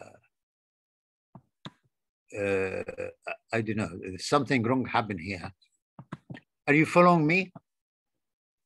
Hello? Yes, we follow you, yes. Okay. Uh, so the contribution at regional level, not only in the Red Sea, but even the Mediterranean. And we went to even global. So I personally have participated with many, many Egyptian scientists, uh, either in expeditions or publications related to specific issues uh, like the uh, invasive species, for example, and many, many other that we were part of the whole process, not only uh, contributing to the science, but even uh, contributing to the marine policies all over the world, whether it's CBD or Barcelona Convention, or not only that, for taxonomy, we're able to work together with IUCN in a way that we have produced several books about the red list of the IUCN, Not only that, as well, in the living planet report that was quite old. Uh, now we are dealing with uh, the new one, which just came out very recently, but show you where are we now at the global level, whether it is at specific uh, species or specific habitats, and that continue on and on. And these are examples, not only that scientific uh, contribution, but even we went further to the economics of biodiversity. We're able to know how much we know uh, the value of the uh, biodiversity in terms of dollars. We reached that uh, recent figure of 43 trillion dollars that are free of charge, that are produced by the ecosystems and biodiversity to a great extent. So these are some of the publications that Egypt has contributed to a great extent, whether in science review or in other specific areas. This is the level of me when I was young, looking at the uh, electron microscope. And at that time, we used to work, you have to go to the water, get the water, analyze the water, get sample, whatever you could see with the recent technologies all over the world. You don't have to go to the water now, either with remote sensing or any changes had happened. It is interesting and to see how the world uh, were able to assess the marine environment and how much information that are available from many, many places. So you could see now part of that Egypt had contributed to the World Ocean Assessment. I cannot remember who that, but certainly we looked at the impact of climate change and related changes in the atmosphere. And as you could see, the Delta, Nile Delta is really a threat. And we have witnessed and documented sea surface temperature, sea level rise, oxygen acidifications, salinities, and many, many things like that. Actually, the Mediterranean now is one of the hotspots for climate change to a great extent. We're able to look at the IPCC assessment report that had made it very, very clear that uh, uh, the impact of climate change, certainly on human well-being and biodiversity, as well as projected impacts according to a number of scenarios that had we are responsible to a great extent for many of the activities that we uh, that they are related to the uh, marine environment to great extent. This is an example of the work that were done in ocean acidification, and you could see all over the world we have huge uh, data about the many, many areas, whether it is the uh, minerals or the pH or even were able to get some of the decision makers. I don't know how many of you remember this one. Does anyone remember this one? But anyway, he was a vice president of the United States and he was very interested in climate change to a great extent. Even Egyptians were able to look at the history and the geology of the ocean to a great extent. And as you could see, where the for example, the Arabia was not there. The Arabia was down in the thousand uh, bull, to a great extent. So this is a current situation where the you know about the modern world now. Not only that, but we're able to look at all of the issues related to the, uh, shall we say, uh, climate change in terms of salinity, sea level, whatever, when you look at the human impact or the implication of human well-being on biodiversity, I agree totally with Dr. Lela that uh, have witnessed a lot of in the life cycles of species, but certainly the ice cap already now is melting to great extent. Uh, fish stocks are uh, have reached the maximum exploitation to a great extent.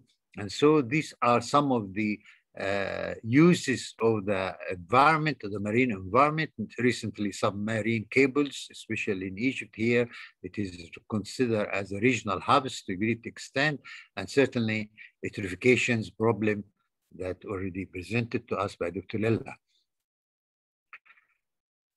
And back to climate change and biodiversity, we have witnessed many, many species that they have migrated to great extent, not only the migratory species that they have shifted their breeding range, not only that, but certainly uh, many mismatch, mistiming of the biological shift. That means that species now, instead of reproducing in uh, spring, now they are produced early uh, as well. And many of the issues that are related to uh, climate change, whether the mangroves, coral reefs, especially coral bleaching, wetlands, and these are the issues that we have contributed to a great extent.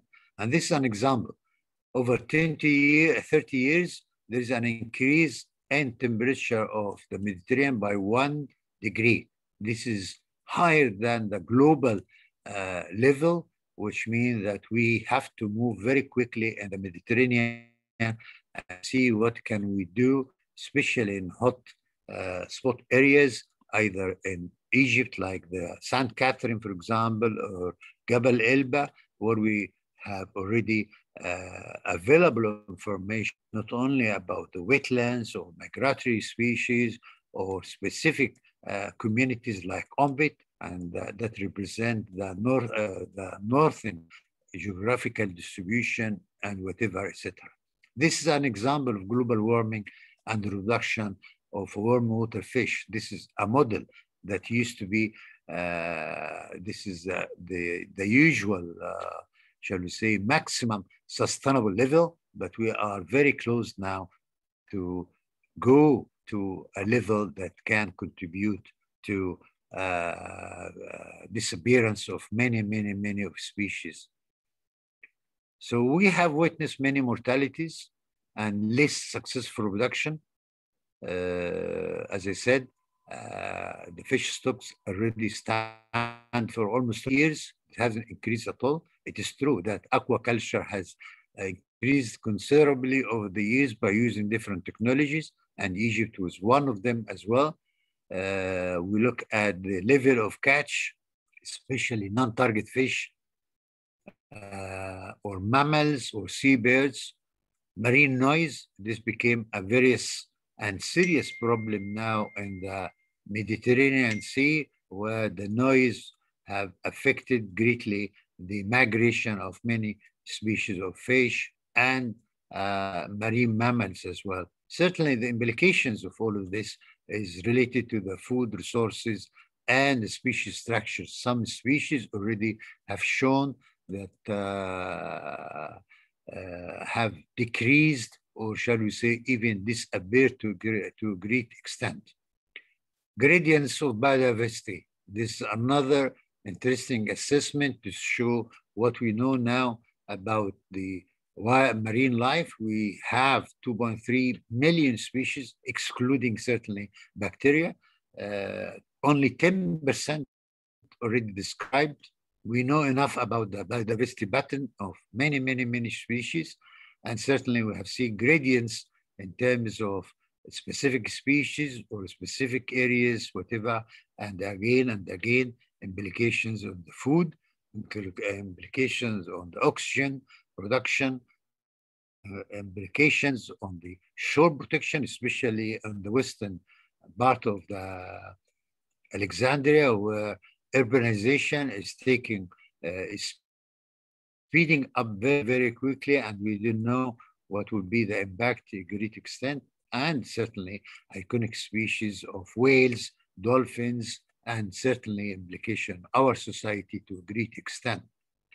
This another important uh, level of information about the census of marine life that came out in 2010, and it show you that when we work together, we were able to look at the results of four, 540 uh, expeditions, more than 2,000, actually 20,000 species, uh, sorry, scientists that from all over the world that they have produced in terms of books, papers, websites, whatever, and certainly the new technologies.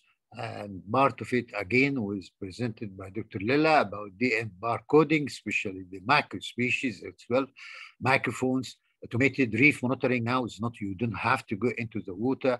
And certainly one of the most important thing that came out over the last few decades is the global ocean uh, system, and certainly the standardization for that.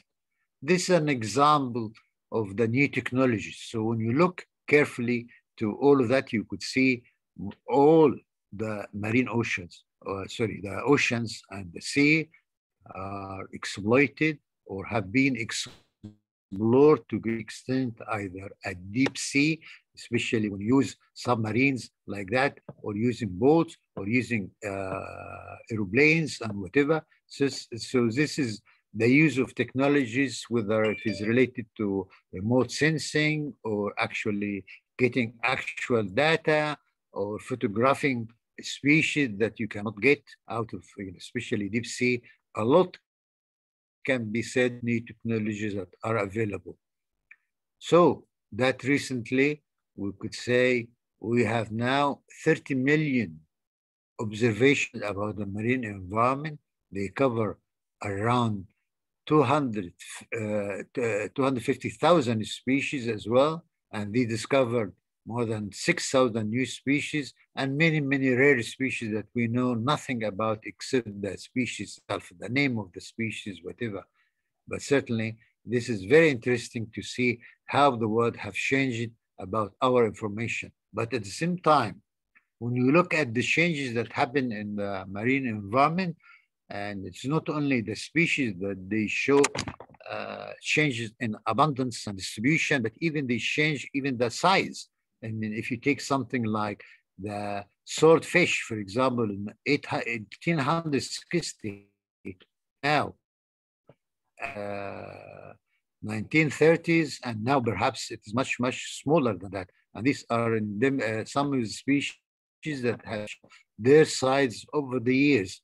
And uh, we have witnessed some of these activities to great extent. Everywhere, in the marine environment, whether it's ocean or the environment, we have intensified, intensified the use, whether it's due to our urbanizations everywhere, or aquaculture and marine ranching, or shipping as well. I mean, we are talking about more than 55,000 boats in the Mediterranean alone, for example. These are some of the uses of the marine environment and certainly human beings were able to make use of them, whether it is as a food or as a source of energy or as a conservation in terms of marine protected areas, whatever. So not only increased in space,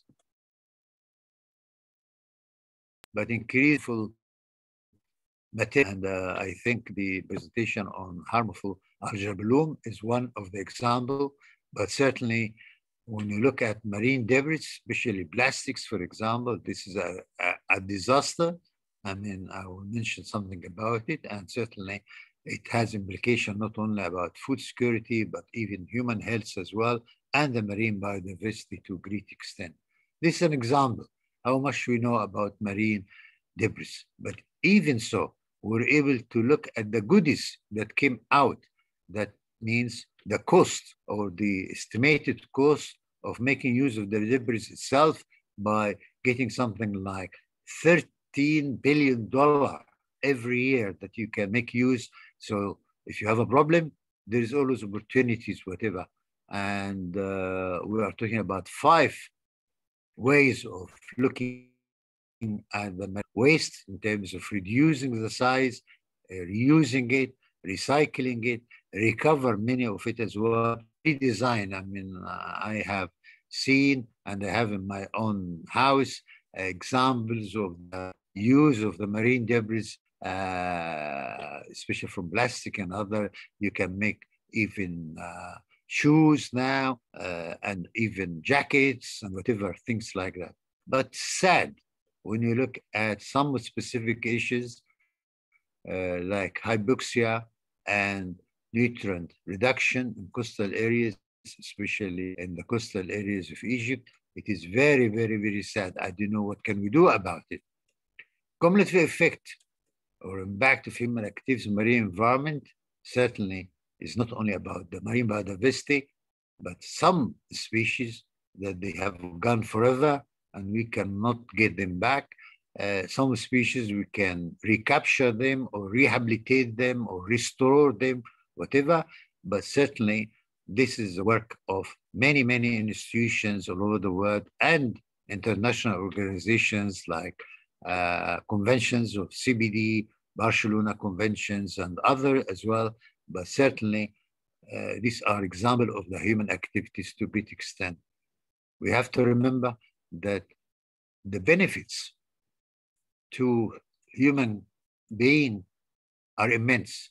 But at the same time, there are disbenefits because of our activities or human uh, activities on the marine environment to great extent. We are dealing with uh, incredible loss of marine biodiversity to great extent. Uh, marine transport have reached stage where we, the marine environment cannot take any more of that. But certainly we are benefiting from the marine uh, energy, especially gas, mining, whatever, tourism. We can talk about it for a long time, whatever. But certainly one of the goodies that we came out, especially genetic resources from the deep sea. It is one of the very interesting uh, approach or promising integrating management manage human activities. We have to integrate all our activities. One of the questions that I wanted to ask Dr. Laila is, what is her recommendations for the future, either for scientists or for decision makers to a great extent? We have to integrate all of our human activities. We cannot work in geographical isolation anymore. The whole world now talk about the marine integration to be able to conserve these resources, to use them properly, or shall we say sustainably to a great extent. But at the same time, you have to look at other issues related to the international trade, especially the uh, what we call sustainable production and consumption to a great extent. We have to deal with the coastal degradation uh, from land-based development sources as well. And in Egypt, we have already documented the impact of land-based sources on the marine environment or in the material. So successful management of human activities, we have to sit together. We are in the same boat, and that's what we call it uh, mainstreaming of our activities uh, from different sectors together It's not an easy, to get everybody and agree in principle because people until now they think about the shall we say sectoral approach rather than uh, cross-cutting approach. We have to uh, think in terms of uh, sustainable development. And many people don't know even what does it mean about a process long-term process. Uh, it is an uh, a, a, it is a concept or approach of how do you address a problem from ecological, from environmental, from eco- from economic, from social, whatever, etc. And certainly to sit together, we need to see how the interactions of different pressures on the marine environment uh, to understand it and certainly you deal with some of the problem, whether it is sewage problem, pollution problem, marine problem, whatever. So better integrated management will require existing knowledge and identify knowledge gaps. And this is exactly what we're trying to do now to great extent. Certainly, the last uh, assessment is the urgency of addressing threats to marine environment. Many parts of them being seriously degraded. We have to acknowledge this. But what can you do? Can you rehabilitate it? Can you, uh, Uh, uh, uh, what can you do in terms of rehabilitation and restoration to that extent? What you do with the cumulative impact of problems that we are already suffering from all over the world as well. Lost opportunities. That means that if you don't take action now, it will be very, very chronic problem in the future, and sometimes it costs huge amount of resources that we cannot offer, especially benefit from integrated planning, planning and management to great extent.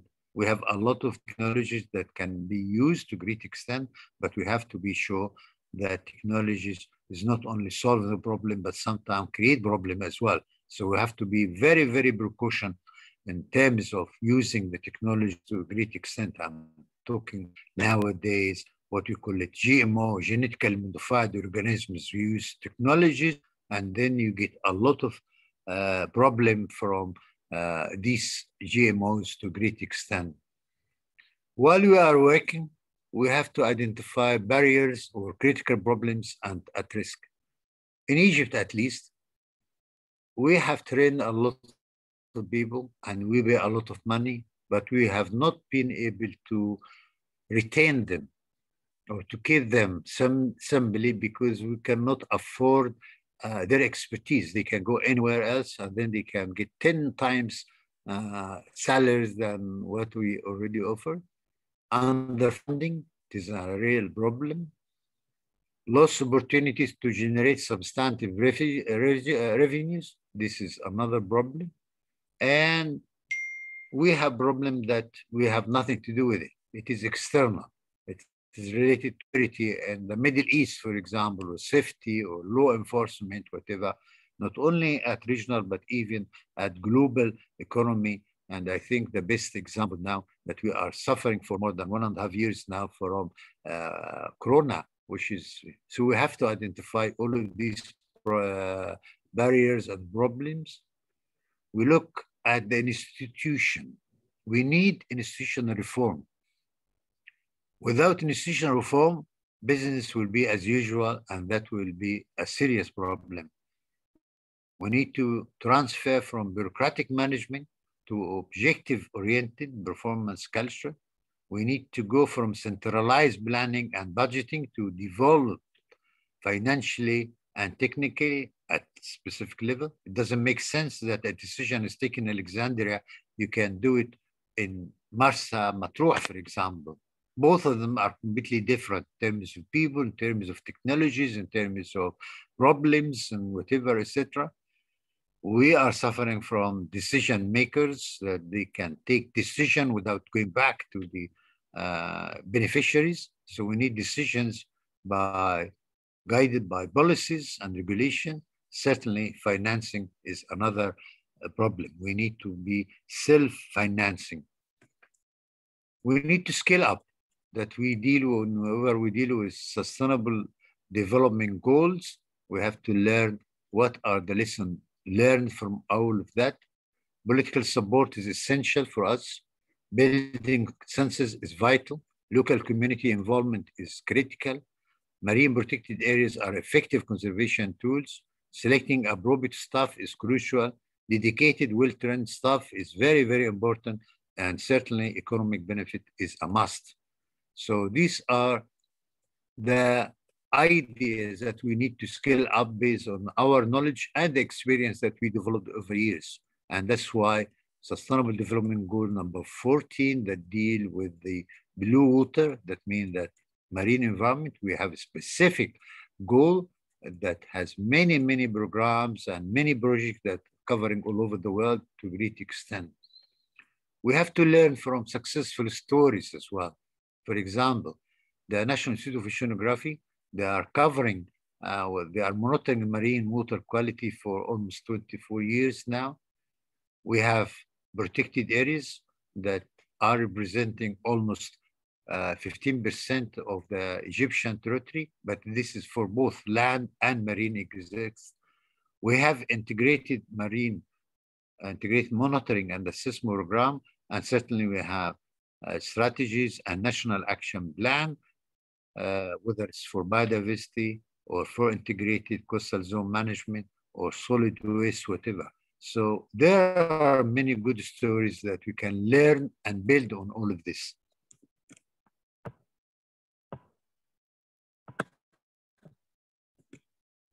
Example. This is an example of protected areas. We have a, a network of 30 protected areas that covers 30%. We have system plan that already developed. We have more than 15 protected areas that need to be declared based on our future plan. Most of habitats are represented in the Egyptian uh, environment and many important archaeological sites already presented, especially the cultural heritage and many traditional cultures, whatever. This is an example of what we have already learned from marine protected areas. But again and again, we have knowledge, but still we have many, many gaps, whether in the marine environment, physical structure is still need, especially deep sea uh, environment, composition and movement of marine waters. Uh, there is indication that the currents, for example, is changed to great extent. Biota, the marine environment is still, we need to know, especially the algae and macro species and ways in which human interact with the marine environment. These are the gaps that we need to address to great extent. The other important issue related to gaps as well is our capacity. Can we do, can we say that we are professional? I mean, for example, if you take the research vessels, Mabahiss that worked for more than 50 years, and now the existing research vessels,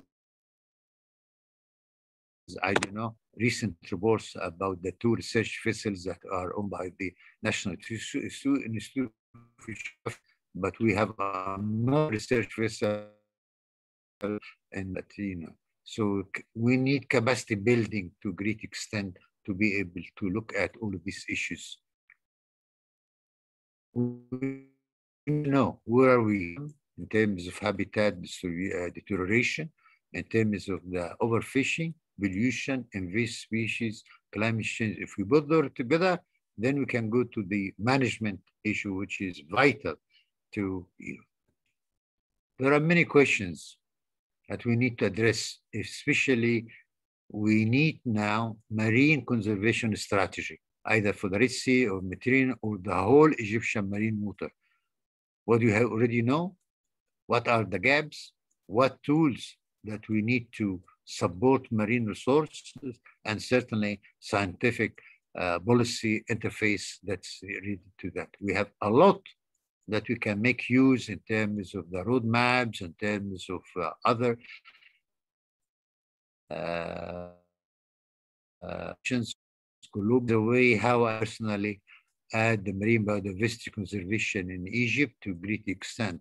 If we take part of it, I was able to develop personally marine biodiversity strategy by saying by 2030, Egyptian marine resources and ecosystems, whether it's natural capital, are essential component for sustainable development and eradication of poverty in Egypt, guaranteeing their proper and fairly use in a joint ethical responsibility. That means it is a responsibility of everyone that require innovation, sharing knowledge, coordination to mainstream marine resources in all relevant development uh, sectors, and to guarantee social involvement and benefit with the fact that Egyptian citizens is one of the cornerstone of building this society, eradicating poverty. And this is a vision that I developed five years ago, and it is entirely up to the institution like National Institute of Oceanography to consider this vision, to change it, to adapt it to whatever. Even we looked at the objectives of that strategy that should be based on scientific ground rather than anything else. And not only that, we want to very, very specific start with conservation because without conservation, you cannot use it properly. And then without using scientific knowledge, you cannot go forward or uh, um, make good benefit or sustainable use of these resources, whatever. So these are some of the objectives. They are available for someone who may need like, like that. I tried to see if it is possible to can put all of this strategy in five main pillars that related to conservation, related to integration, improvement of knowledge, and improving awareness because awareness and in educational programs, but certainly partnerships, partnerships with all relevant beneficiaries, uh, uh, or shall we say, uh, uh, all partner, whether it's, uh, uh, shall we say, private sector, for example, industries, whatever, certainly implementation of research and development, because without R&D, we forget about it. Without this, you can destroy, deteriorate the environment to a great extent. I have looked at even priorities. What kind of research priorities that is needed? How can we improve the baseline knowledge of marine uh, biodiversity from the level of ecosystem to a great extent? How can we stimulate the production of monographs, especially algae, for example? I don't know how many species of algae. I mean, I was very close to Professor, uh, late Professor Yusuf Halim, the father of marine environment to, uh, in the Mediterranean and Red Sea as well. But certainly, these are some of the priorities that we need to look at in terms of knowledge, in terms of books, in terms of what level of understanding about the population dynamics and things like that. Certainly, special and temporal scenarios for this is needed. So these are of the research parties that I am recommending to be considered. I'm not saying you, you have to develop, but certainly without economic opportunities, especially fisheries, aquaculture, marine biotechnology, ecotourism, we lose a lot. But at the same time, we have to have recommendations. If we have marine study, means that we must have a marine science plan. We need to have a marine observing system. We need to have data management and especially e-science. I know that there is very interesting uh, department at the National Institute of Oceanography in Alexandria, uh, but I never seen reports that came out of the huge knowledge that already is stored in that place as well. Human capacity development, we have to continue doing. So these are some of the recommendations uh, that we needed. And I'm very that Marine Science Conference, now this is part of that, and it is good way to do that. And I have explained that in details, what kind of database that we need to do uh, in terms of detailed geographical comprehensive database, field surveys, GIS database, networks at all different levels. So success, we have to be sure that we are doing is a sign of success. And the best way how to do it is to have what we call it exit strategy. If you get out of it, you have to go back again. So you need to put or to set the right framework. You need to offer local support, especially fishermen, uh, fishermen, for example. Ownership, especially fishermen again, getting people involved, creating alternative livelihood, especially if people suffer from uh, pollution, for example, spreading success stories, introducing new standards, especially methodologies, whatever, and so on. These are some of the elements of success to great extent. Part I would like to mention is I have about this almost 20 years now, and until now, I don't know why. I sit with people, we agree, and then once we finish, they go back again and think. The whole world now is talking about special, special uh, planning especially special marine planning. It is a process of analyzing allocating special timber distribution of human activities to achieve ecological, economic, and social objectives. It is a framework for implementing an ecosystem-based management to support. It has its own principles, whether it's ecosystem-based or it's based on integration, place-based, adaptive, and whatever etc. We need to start this. I need to see study comparing different places along the Egyptian Mediterranean coast to see the special planning. It's not only planning, but implementation. It has specific steps that we need to consider. And all of these steps are well known, starting our needs, for example. We need to get support, certainly, whether it's financial or capacity building. We need to organize ourselves. These are the 10 uh, steps for marine special planning. But we have to remember, special planning is not an easy. We have a lot of questions. Decision makers don't understand it or find it very difficult to understand it or they don't want to do it, whatever.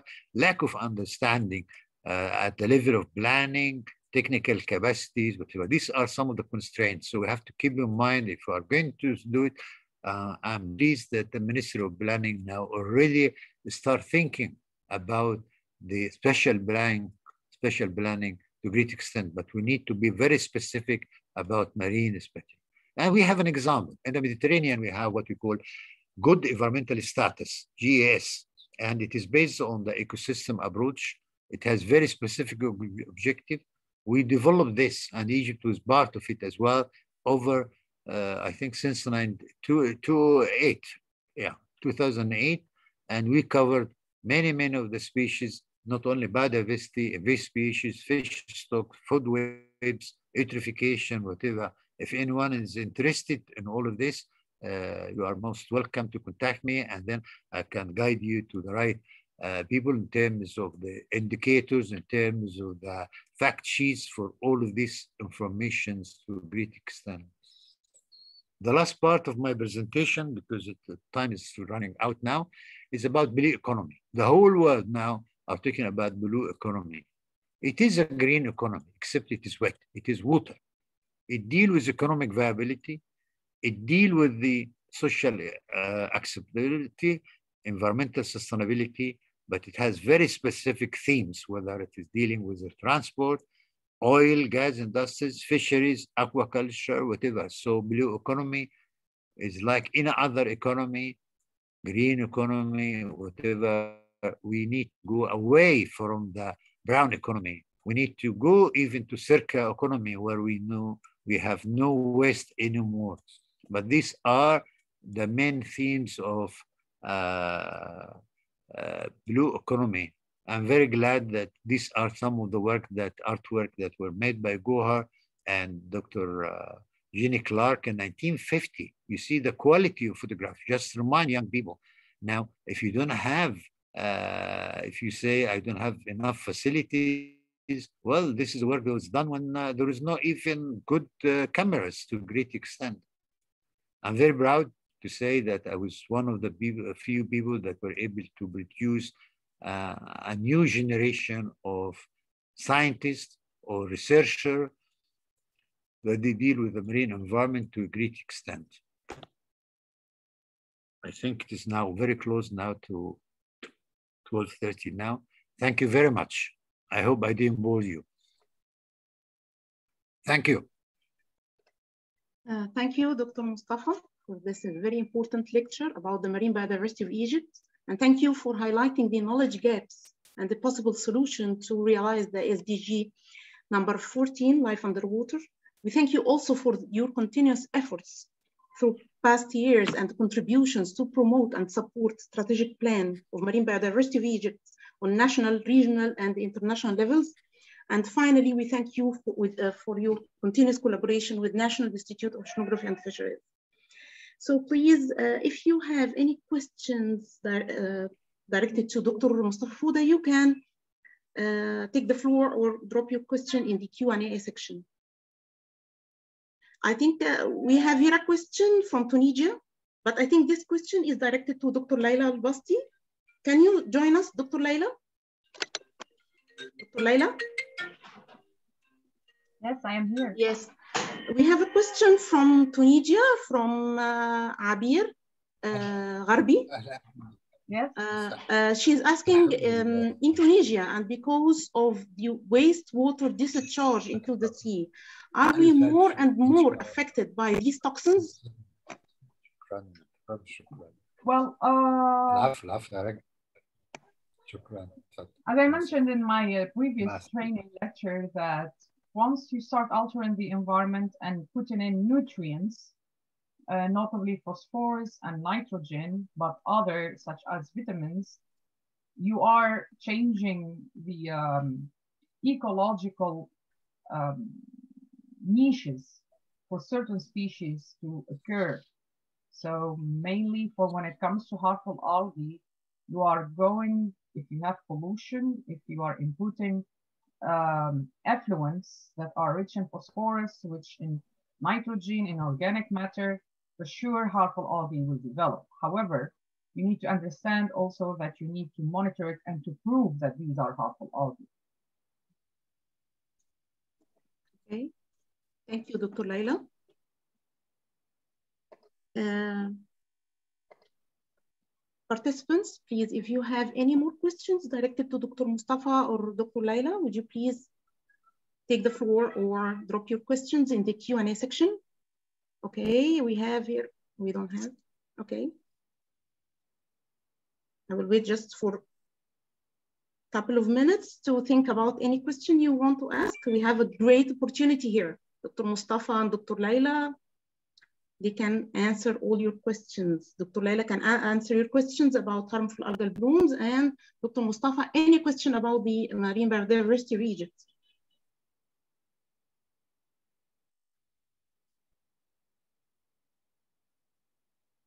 There is, there is a question from, again, from Dr. Samia Mikhail, uh, but directed for Dr. Laila.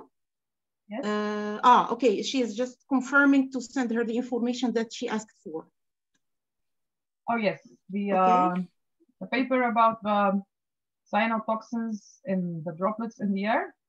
Yeah, um, no, not uh, not this question. She uh, she asked she asked about the Chattonella species and the Thyrosigma. heterosigma Yes, and the, the yes.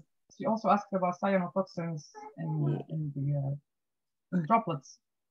Thank, uh, I think that's the question of Dr. Hala Taha, but but you can answer both questions. They are very important. Thank you so much. Okay, Okay. Uh, so please, participants, you don't have any more questions, Dr. Mustafa? Uh, uh, Dr. Mustafa, can I you have ask any question? comment? Yes.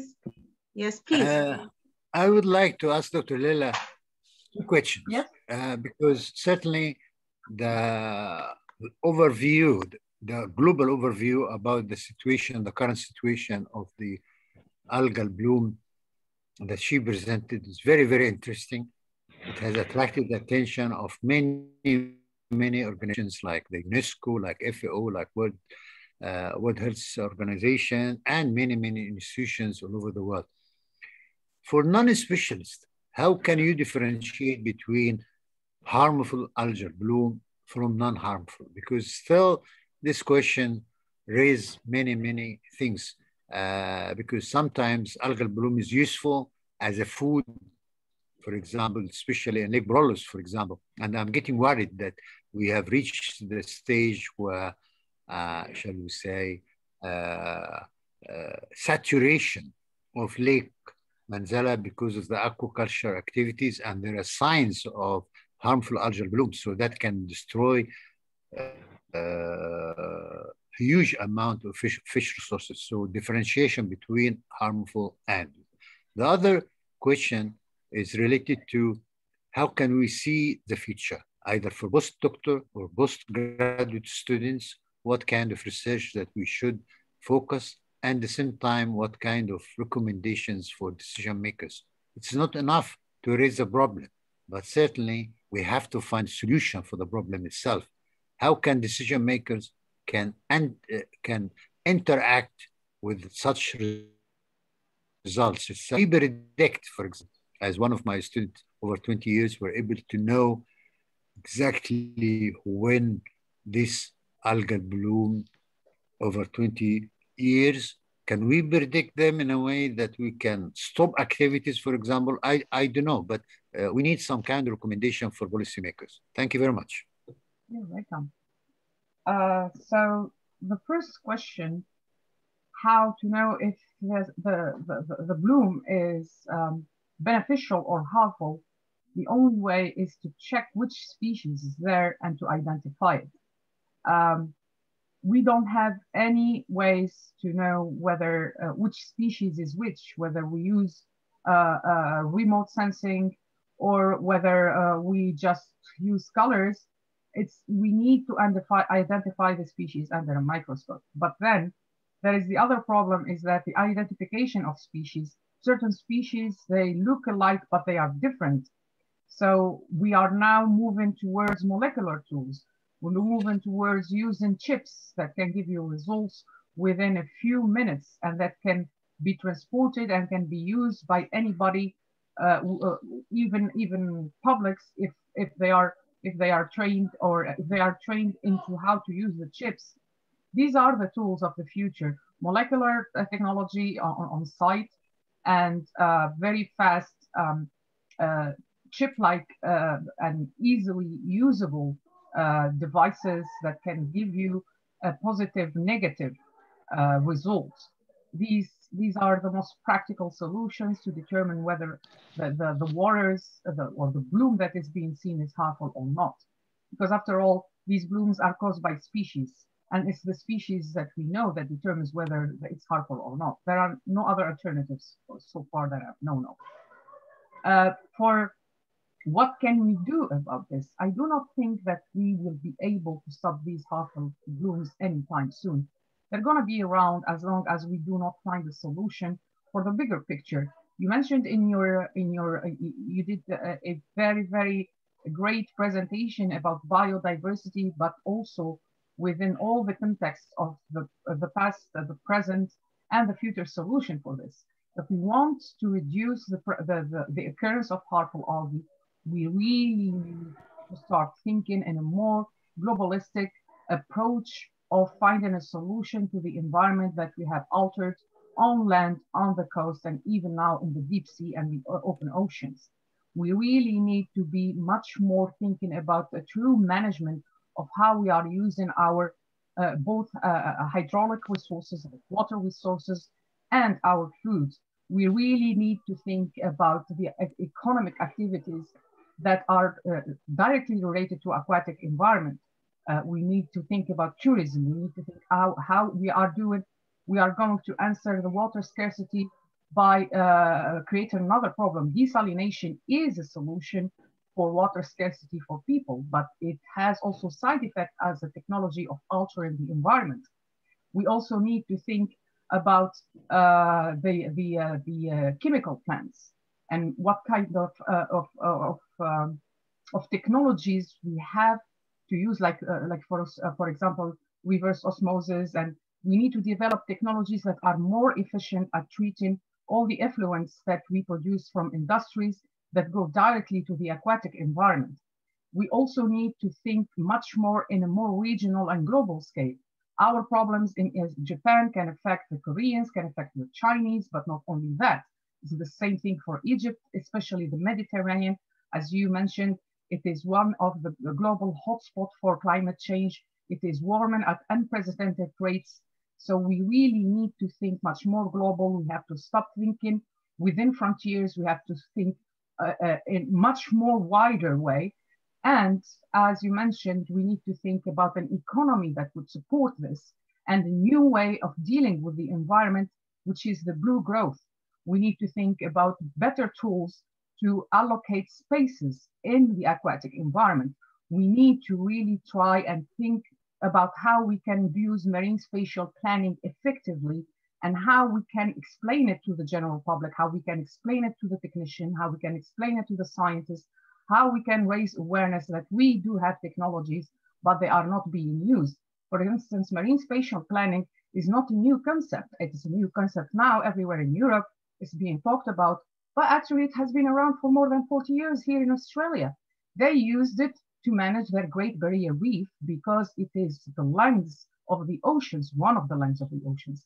They have been used in Vietnam. They have been used even in China to try and see uh, solve the problem of the use of the aquatic environment, the marine environment, or what we call also maritime environment.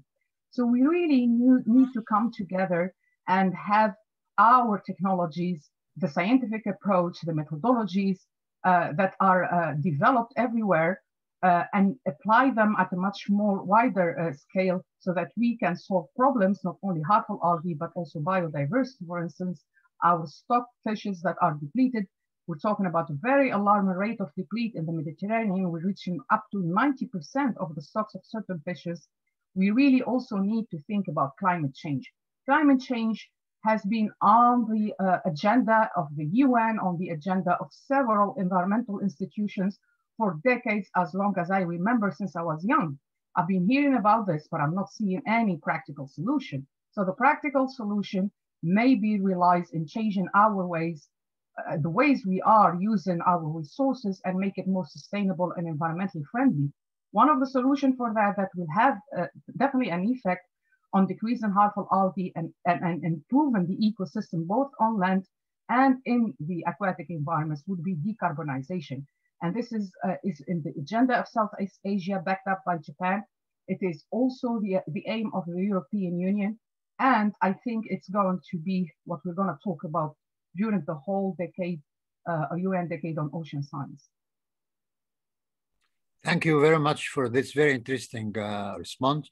And I hope that the organizing committee of this conference will take into considerations all of the issues that were raised in the two presentations uh, in, the, in, the preparation of, uh, uh, shall we say, recommendations for the future activities, especially uh, marine spatial planning. I hope the National Institute of Oceanography will take part of that in the future. At least their projects can focus on all of this. Again, you are uh, Greek, right? No, Tunisian. I hope they do. I hope you are Greek because I I, uh, I, I said something in Greek to you, but uh, you didn't get it. anyway, thank you very much, Dr. Leila. I didn't hear you. Uh, what was the Greek one? Dr. Mustafa thought that you are Greek from Greece. no, I am from Tunisia. yes. Tunisia. Oh. Yes, I am from Shukran. Tunisia. Shukran. No, Shukran I said I said Saraboboli. Okay. I heard uh, it, but I didn't understand uh, it was it was directed to me because I don't speak Greek. I hope I hope I can speak it though. Well, it means very simple things. I love you. Thank you so much. I love you too. Thank you. Okay, um, thank you everyone for this very interesting lectures. And Dr. Mustafa, all the recommendations are being noted and the sessions uh, are being recorded and we will extract and analyze these lectures and we will post them on the uh, uh, YouTube channel of the uh, National Institute of Oceanography and Fisheries and we wish for continuous collaboration with, uh, with you, uh, Dr. Mustafa and Dr. Leila from Japan.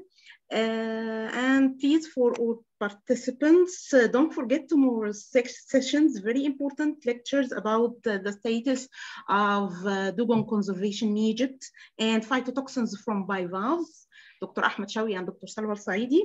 Uh, starting 8 a.m. Uh, 10 a.m. to 12.30 p.m. Cairo time.